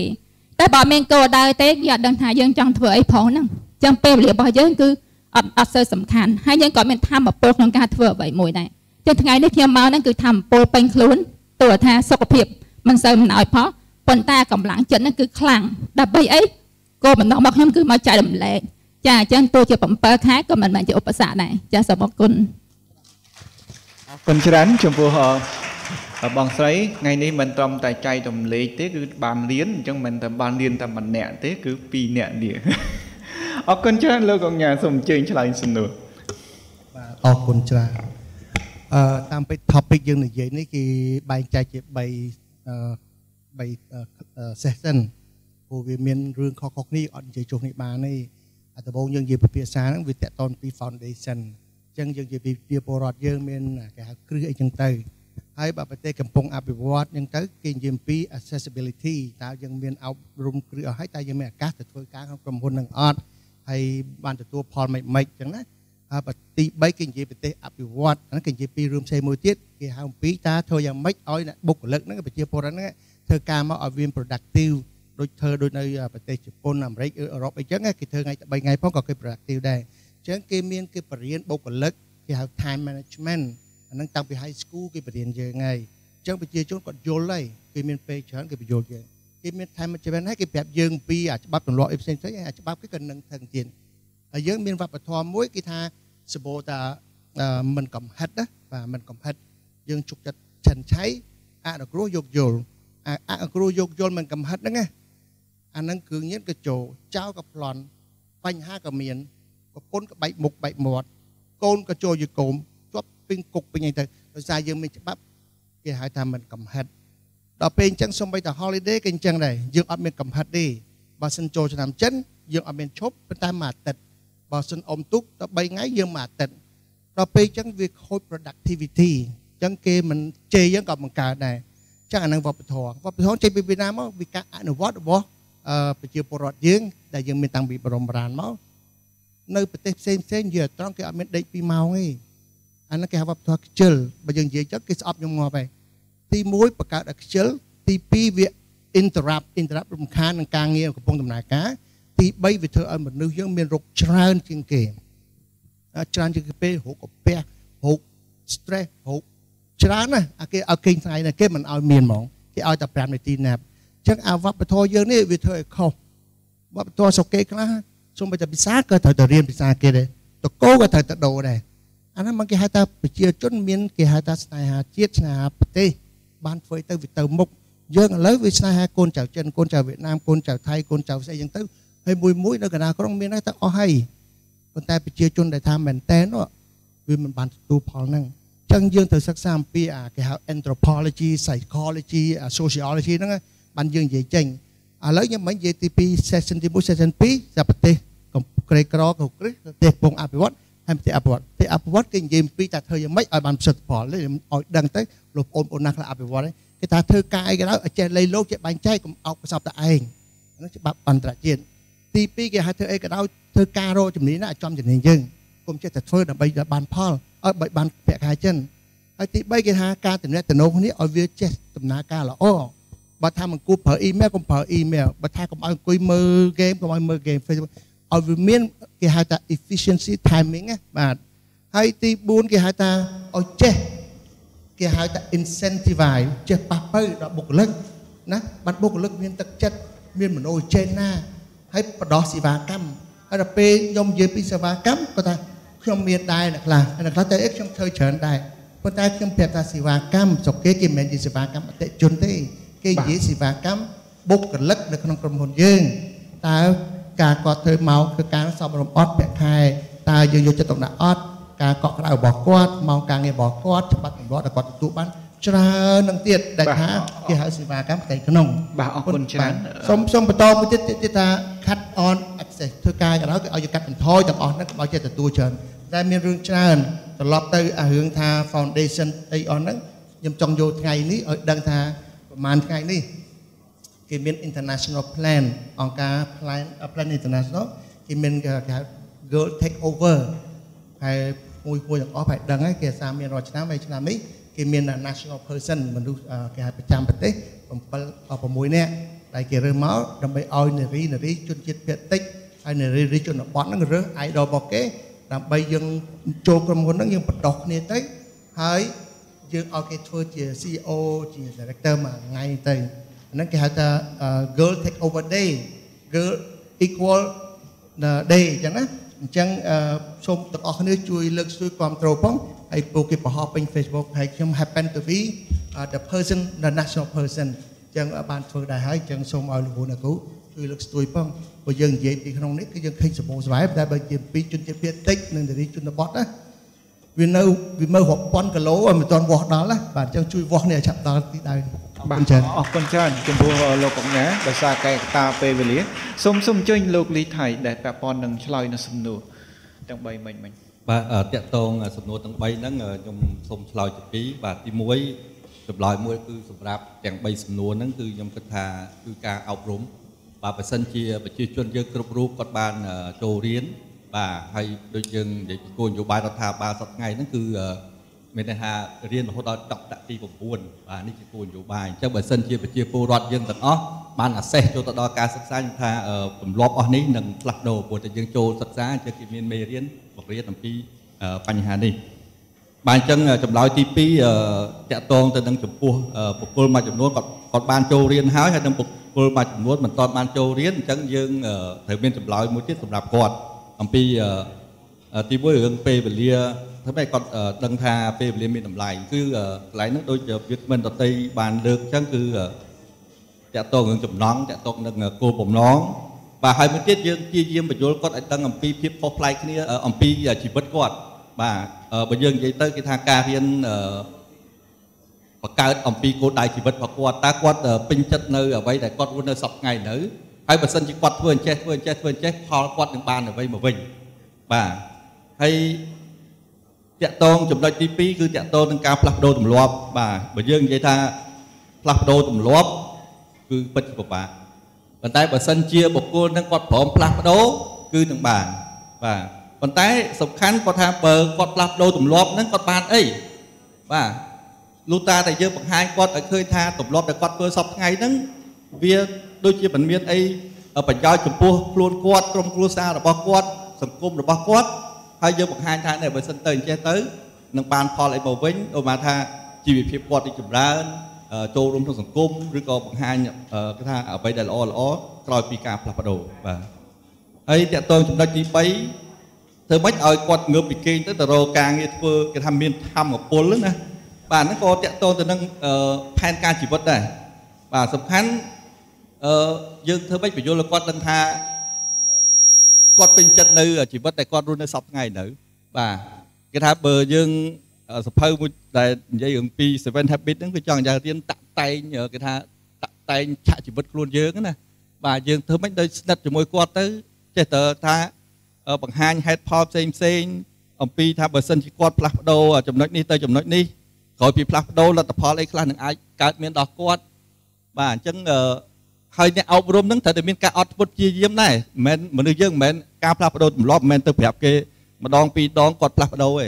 ព្រោះខ្ញុំចាំបានទ្រឹស្ដីនៃការផ្លាស់ប្ដូរទម្លាប់ហ្នឹងប្រហែលជា21ថ្ងៃបាទយើងធ្វើទម្លាប់ដដែលដដែលដដែលនឹងរយៈពេល21ថ្ងៃទៅសកម្មភាពដដែលដដែលគ្រប់21ថ្ងៃវាទៅជាទម្លាប់ហ៎ដល់ពេលទៅជាទម្លាប់មិនបាច់ចាំរំលឹកទេគឺកើតឡើងភ្ញាក់មកធ្វើតែម្ដងបាទអញ្ចឹងខ្ញុំសូមចូលរួមប៉ុណ្្នឹងអរគុណ បាទអរគុណច្រើនចំពោះវាគ្មិនទាំង4រូបដែលបានចូលរួមឆ្លើយនឹងសំណួរហើយខ្ញុំគិតថាសំណួរដែលកើតឡើងសម្រាប់បងស្រីក៏ដូចជាប្អូនស្រីទាំង3មិញមិញនេះក៏មិនមានន័យថាមានតែសំណួរនឹងតែបញ្ហារបស់បងប្អូនតែ3នាក់នឹងដែរគឺមានន័យថាមានបញ្ហាច្រើននៅក្នុងសង្គមជាតិរបស់យើងដែរប៉ុន្តែការល្អបំផុតគឺចាប់ផ្ដើមចេញពីខ្លួនយើង Morning good ឬក៏ Good morning គឺជារឿងសំខាន់មែនទែន ពេលដែលយើងបើកភ្នែកមកសម្បីតែធម្មជាតិក៏បានផ្ដល់ភាពត្រជាក់ត្រជុំពន្លឺដ៏ស្រស់ថ្លាមួយផ្ដល់ឲ្យជីវិតរបស់យើងតើយើងជ្រើសយកអីជ្រើសយក positive ឬក៏ជ្រើសយក negative បើកាលណាយើង negative ថន់តែជា negative feeling ក៏ធ្វើឲ្យយើងមាន negative ឡាយដែរចឹងមានតែជំរើសមួយគត់ដើម្បីបំបំផ្លាញជីវិតរបស់យើងយើងចាប់ផ្ដើមពី positive ទី2តើតើនឹងរឿងទម្លាប់ក៏ខ្ញុំគិតថាជារឿងសំខាន់ណាស់មកដល់ថ្ងៃនេះការសិក្សាសាវជាវទម្លាប់ស្ទើរតែមិនខុសពីវាសនារបស់យើងទេទម្លាប់បែបណាវាសនារបស់យើងបែបហ្នឹងអញ្ចឹងបើសិនជាវាសនារបស់យើងមិនតាន់ពេញចិត្តទេ គឺត្រូវមើលមកទម្លាប់របស់យើងវិញតើយើងកំពុងធ្វើអ្វីការស្រាវជ្រាវគឺរកឃើញ99%នៃមនុស្សយើង ដែលជាពិសេសមនុស្សធម្មតាធ្វើតែដដែលដដែល ជារៀងរាល់ថ្ងៃគឺ99%ធ្វើតែដូចដែលពីម្សិលមិញពីម្សិលមួយថ្ងៃចឹងអាចថាដើម្បីយើងស្រឡាញ់ការរុងរឿងរីចម្រើន គឺត្រូវតែរកឲ្យឃើញនៅអ្វីដែលយើងអាចផ្លាស់ប្ដូរជាពិសេសធ្វើឲ្យប្រសើរឡើងការស្រាវជ្រាវយើងរកឃើញថាចង់ធ្វើកិច្ចការងារឲ្យមានទម្លាប់ធ្វើការឲ្យខ្លាំងគឺយើងច្រើនតែផ្ដោតមកថាដោយលោកអង្គញានិយាយអញ្ចឹងកុំរៀនយកពី3សកលវិទ្យាល័យរៀនស្អី មានន័យថាបើកម្ពូលអ្នកមានបំផុតលើលោកនោះគឺគាត់មានបាវចនារបស់គាត់ផ្ដោតលើរឿងតែមួយទៀតប៉ុន្តែយើងរាល់ថ្ងៃនេះបញ្ហានៅក្នុងបញ្ហានៅក្នុងជីវិតរបស់យើង មនុស្សជាច្រើនអត់មាន message ទេមានតែ message ជីវិតរបស់យើងដែលបញ្ចេញសារទៅគឺ message អត់ message អមថាដោយលោកអង្គញាដែលគាត់រុងរឿងមកដល់ថ្ងៃនេះគឺ message របស់គាត់គឺអ្នកអប់រំមកចេញមកគឺអប់រំ ដល់ message ច្បាស់អញ្ចឹងគឺមានអត្តសញ្ញាណមួយកើតឡើងប៉ុន្តែយើងភាគច្រើនយើងមានទម្លាប់ធ្វើនេះធ្វើនោះមិនឆ្ពោះត្រង់ណាទីបំផុតគឺអាសាបងទាំងអស់អូខេខ្ញុំគិតថាជំសំណួរមិនចង់ចូលរួមឆ្លើយប៉ុន្តែមួយទៀតតម្លៃពេលវេលាបើអ្នកដែលមិនអោយតម្លៃពេលវេលាគឺស្មើមិនអោយតម្លៃខ្លួនឯងយើងបើសិនជាយើងចាប់ផ្ដើមចង់ឲ្យមានតម្លៃគឺមាន model យើងចាប់ផ្ដើមចេញពីជីវិតខ្លួនយើងឲ្យតម្លៃនឹងឲ្យខ្លាំងហើយយើងចាប់ផ្ដើម ធ្វើការបំលាស់ប្ដូរ everything because of me ចង់ទៅជួបគេបើគេមិនគ្រប់ពេលវេលាក៏ត្រូវចេះតាក់ទងម្នាក់នឹងមុនត្រូវណាត់មុនត្រូវនិយាយមុនត្រូវបង្ហាញមុនធ្វើម៉េចឲ្យមនុស្សនឹងគ្រប់ពេលវេលាយើងបានកុំឲ្យគេថាអ្នកដែលមិនគ្រប់ពេលវេលាមកបំផ្លាញពេលវេលារបស់យើងបានអរគុណច្រើនខ្ញុំគិតថាជាសារចុងក្រោយសូមឲ្យវាគ្មិនរបស់យើងឥឡូវនេះយើងដល់ម៉ោងនៅសល់តែ3នាទីអញ្ចឹងសូមឲ្យសារម្នាក់2នាទីចុះ ដើម្បីជាការថាតើដើម្បីកសាងប្រជាជាតិខ្មែររបស់យើងឲ្យមានទម្លាប់ធ្វើការងារឲ្យខ្លាំងក្លានិងមានប្រសិទ្ធភាពខ្ពស់តើវាគ្មិនរបស់យើងមានសារអីដែលចង់បញ្ជូនប្រាប់ពួកគាត់អរគុណច្រើនអញ្ចឹងសូម lady first តែម្ដងចាសូមអរគុណជាថ្មីម្ដងទៀតហើយដោយសារពេលវេលាខ្លីខ្ញុំសូមសង្ខេបខ្លីៗនៅអ្វីដែលយើងបានចូលរួមចែករំលែកក្នុងថ្ងៃនេះ ចាអញ្ចឹងយើងដឹងហើយថាសារៈសំខាន់នៃការកសាងទម្លាប់ធ្វើការឲ្យខ្លាំងក្លានិងប្រសិទ្ធភាពខ្ពស់តែប៉ុន្តែមិនយើងនិយាយពីច្រើនទៅលើទម្លាប់ធ្វើការខ្លាំងក្លាប៉ុន្តែប្រសិទ្ធភាពថាតើត្រូវធ្វើឲ្យមានប្រសិទ្ធភាពយើងហាក់ដូចជាដោយសារពេលវេលាខ្លីមិនបានជជែកបានច្រើនទេប៉ុន្តែខ្ញុំគិតថាអ្វីអ្វីគឺផ្ដើមពីយើងទាំងអស់គ្នាហើយខ្ញុំជឿជាក់ថាការកសាងទម្លាប់នេះតាមពិតទៅយើងគ្រប់គ្នាអាចធ្វើបានមិនមែនថាតើវាគ្មិននៅលើនៅលើវេទិកា5អ្នកបានធ្វើបានហើយនៅខាងក្រៅវេទិកាធ្វើអត់បាន ឬក៏អ្នកដែលតាមដានតាមប្រព័ន្ធផ្សព្វផ្សាយសង្គមធ្វើអត់បានទេតាមពិតធ្វើបានទាំងអស់គ្នាដូចខ្ញុំនិយាយពីតាមទីអញ្ចឹងអត់ប្រកាន់ភេទអត់ប្រកាន់អាយុវណ្ណៈព្រោះពុជសាសអីទេឲ្យតែយើងចង់ថាយើងចង់ធ្វើយើងចង់ផ្លាស់ប្ដូរទម្លាប់របស់យើងចឹងទម្លាប់វាពិបាកផ្លាស់ប្ដូរប៉ុន្តែมันមានន័យថាផ្លាស់ប្ដូរមិនបានទេគាត់ត្រូវការពេលវេលានិងត្រូវការការតាំងចិត្តចឹងតែយើងត្រូវធ្វើម៉េចដើម្បីឲ្យយើងនឹងមានការតាំងចិត្តក្នុងការផ្លាស់ប្ដូរខ្ញុំសូមឲ្យមានការបង្កើតនៅវប្បធម៌ប្រកួតប្រជែង ហើយការប្រកួតប្រជែងត្រង់នេះមិនមែនប្រកួតជាមួយអ្នកណាផ្សេងទេគឺប្រកួតជាមួយខ្លួនឯងសិនយើងយកឈ្នះលើខ្លួនឯងសិនយកឈ្នះលើចិត្តរបស់យើងសិនណាយកឈ្នះលើភាពទន់ខ្សោយរបស់យើងយកឈ្នះលើភាពខ្ជិលច្រអូសរបស់យើងយកឈ្នះនៅនៅការនៅភាពខ្ជះខ្ជាយពេលវេលារបស់យើងសិនណាយើងយកឈ្នះលើខ្លួនឯងសិនបានអាចយកជាស្ពានមួយទៅយកឈ្នះលើអ្នកដទៃបានចឹងអ្វីអ្វីទាំងអស់គឺចាប់ផ្ដើមពីយើងទាំងអស់គ្នាសូមចូលរួមក្នុងការបង្កើតឲ្យមានវប្បធម៌នៃការប្រកួតប្រជែង ចាប់ពីខ្លួនយើងក្នុងគ្រួសារយើងស្ថាប័នយើងនិងសង្គមជាតិយើងចាសសូមអរគុណបាទអរគុណច្រើនលោកស្រីជាសុភាសូមអញ្ជើញលោកអុកលោកបណ្ឌិតឬក៏ចាំតោះអូខេសារចុងក្រោយ2នាទីបាទខ្ញុំសូមជំរាបជូនថាយើងមើលប្រធានបទរបស់យើងការកសាងប្រជាជាតិឲ្យមានទម្លាប់ធ្វើការងារខ្លាំងក្លានិងមានប្រសិទ្ធភាព5 ចឹងកសាងអ្វីដែលខ្ញុំចង់ផ្ញើសារជូនគឺកសាងកសាងធ្វើម៉េចឲ្យ logic systematic ហើយ consistent មានន័យថាឲ្យសមហេតុផលកសាងជាប្រព័ន្ធហើយមានលក្ខណៈជាប់ជាប្រចាំទី2ខ្ញុំចង់និយាយថាប្រជាជាតិយើងយើងនឹងគឺយើងនឹងហើយកុំចោលគេចឹងចាប់ផ្ដើមពីខ្លួនពីខ្លួនយើងកុំធ្វើតាមគេកុំធ្វើតាមអ្វីដែលយើងនឹកឃើញមានន័យថាទម្លាប់ដែលយើងធ្វើនេះគឺទម្លាប់ទៅតាមបទដ្ឋានវិទ្យាសាស្ត្រទី3ពាក្យថាខ្លាំង ខ្លាំងរបស់យើងនេះមានន័យថាខ្លាំងត្រូវកុំខ្លាំងអ្វីដែលមិនត្រូវពាក្យថាត្រូវនឹងត្រូវនឹងអីមានន័យថាត្រូវនឹងផែនការត្រូវនឹងគោលដៅដែលយើងបានកំណត់ត្រូវនឹងច្បាប់របស់ប្រទេសយើងត្រូវនឹងបរិបត្តិទំនៀមទម្លាប់ប្រពៃណីនិងសាសនារបស់យើងពាក្យថាបន្ទាប់ពីខ្លាំងពាក្យថាយើងថាឲ្យមានប្រសិទ្ធភាពខ្ពស់ពាក្យថាប្រសិទ្ធភាពខ្ពស់កុំធ្វើចោលខ្ញុំចង់ប្រភេទថាកុំធ្វើចោលឃើញទេបាទបើយើងធ្វើចោលមានន័យថាយើងអត់ដឹងពីប្រសិទ្ធភាពទៅរៀនចោល ខ្ញុំលើកឧទាហរណ៍ថាបងលុយទៅរៀនតែរៀនមកវិញបានអីហើយបាននឹងវាមានទៅតាមគោលដៅដែលយើងចង់បានដែរអត់អញ្ចឹងប្រសិទ្ធភាពត្រូវតែដឹងដឹងថាយើងបានដឹងថាត្រឹមត្រូវដឹងថាវាមានវឌ្ឍនភាពដឹងថាវាមានប្រសិទ្ធភាពអញ្ចឹងយើងដឹងទេថាធ្វើមិនដឹងដើម្បីដឹងថាវាត្រូវតោះតែយើងមានការអភិបាលយើងរដ្ឋាភិបាលថាអភិបាលកិច្ចដឹងថាវាមានវឌ្ឍនភាពតោះតែយើងតាមដានហើយដឹងថាវាមានប្រសិទ្ធភាពតោះតែយើងធ្វើការវាយដល់វាយតម្លៃអញ្ចឹងយើងធ្វើបានត្រឹមត្រូវទៅតាមបទដ្ឋានវិទ្យាសាស្ត្រអញ្ចឹងប្រាប់ហ្នឹងខ្ញុំថាបើយើងធ្វើបានអញ្ចឹងយើងនឹងคลายទៅជាមនុស្សម្នាក់នៅក្នុងប្រជាជាតិមួយ ដែលមានទម្លាប់ល្អខ្លាំងហើយនឹងមានប្រសិទ្ធភាពសូមអរគុណបាទអរគុណច្រើនចំពោះលោកបណ្ឌិតអាយដាមបណ្ឌិតសូមបន្តសូមអញ្ជើញលោកលីថៃមុនសារចុងក្រោយរយៈពេល2នាទីបាទសូមអរគុណបាទតកតងសារចុងក្រោយ សម្រាប់2នាទីនេះក្នុងការកសាងការងារខ្លាំងក្លានិងប្រសិទ្ធភាពបាទអឺខ្ញុំគិតថាដូចជាក៏មិនមានអីបន្ថែមច្រើនតែគ្រាន់ថាចង់បញ្ជាក់ថាទី1គឺផ្ដើមចេញពីការសិក្សារៀនសូត្របាទមានថាពេលដែល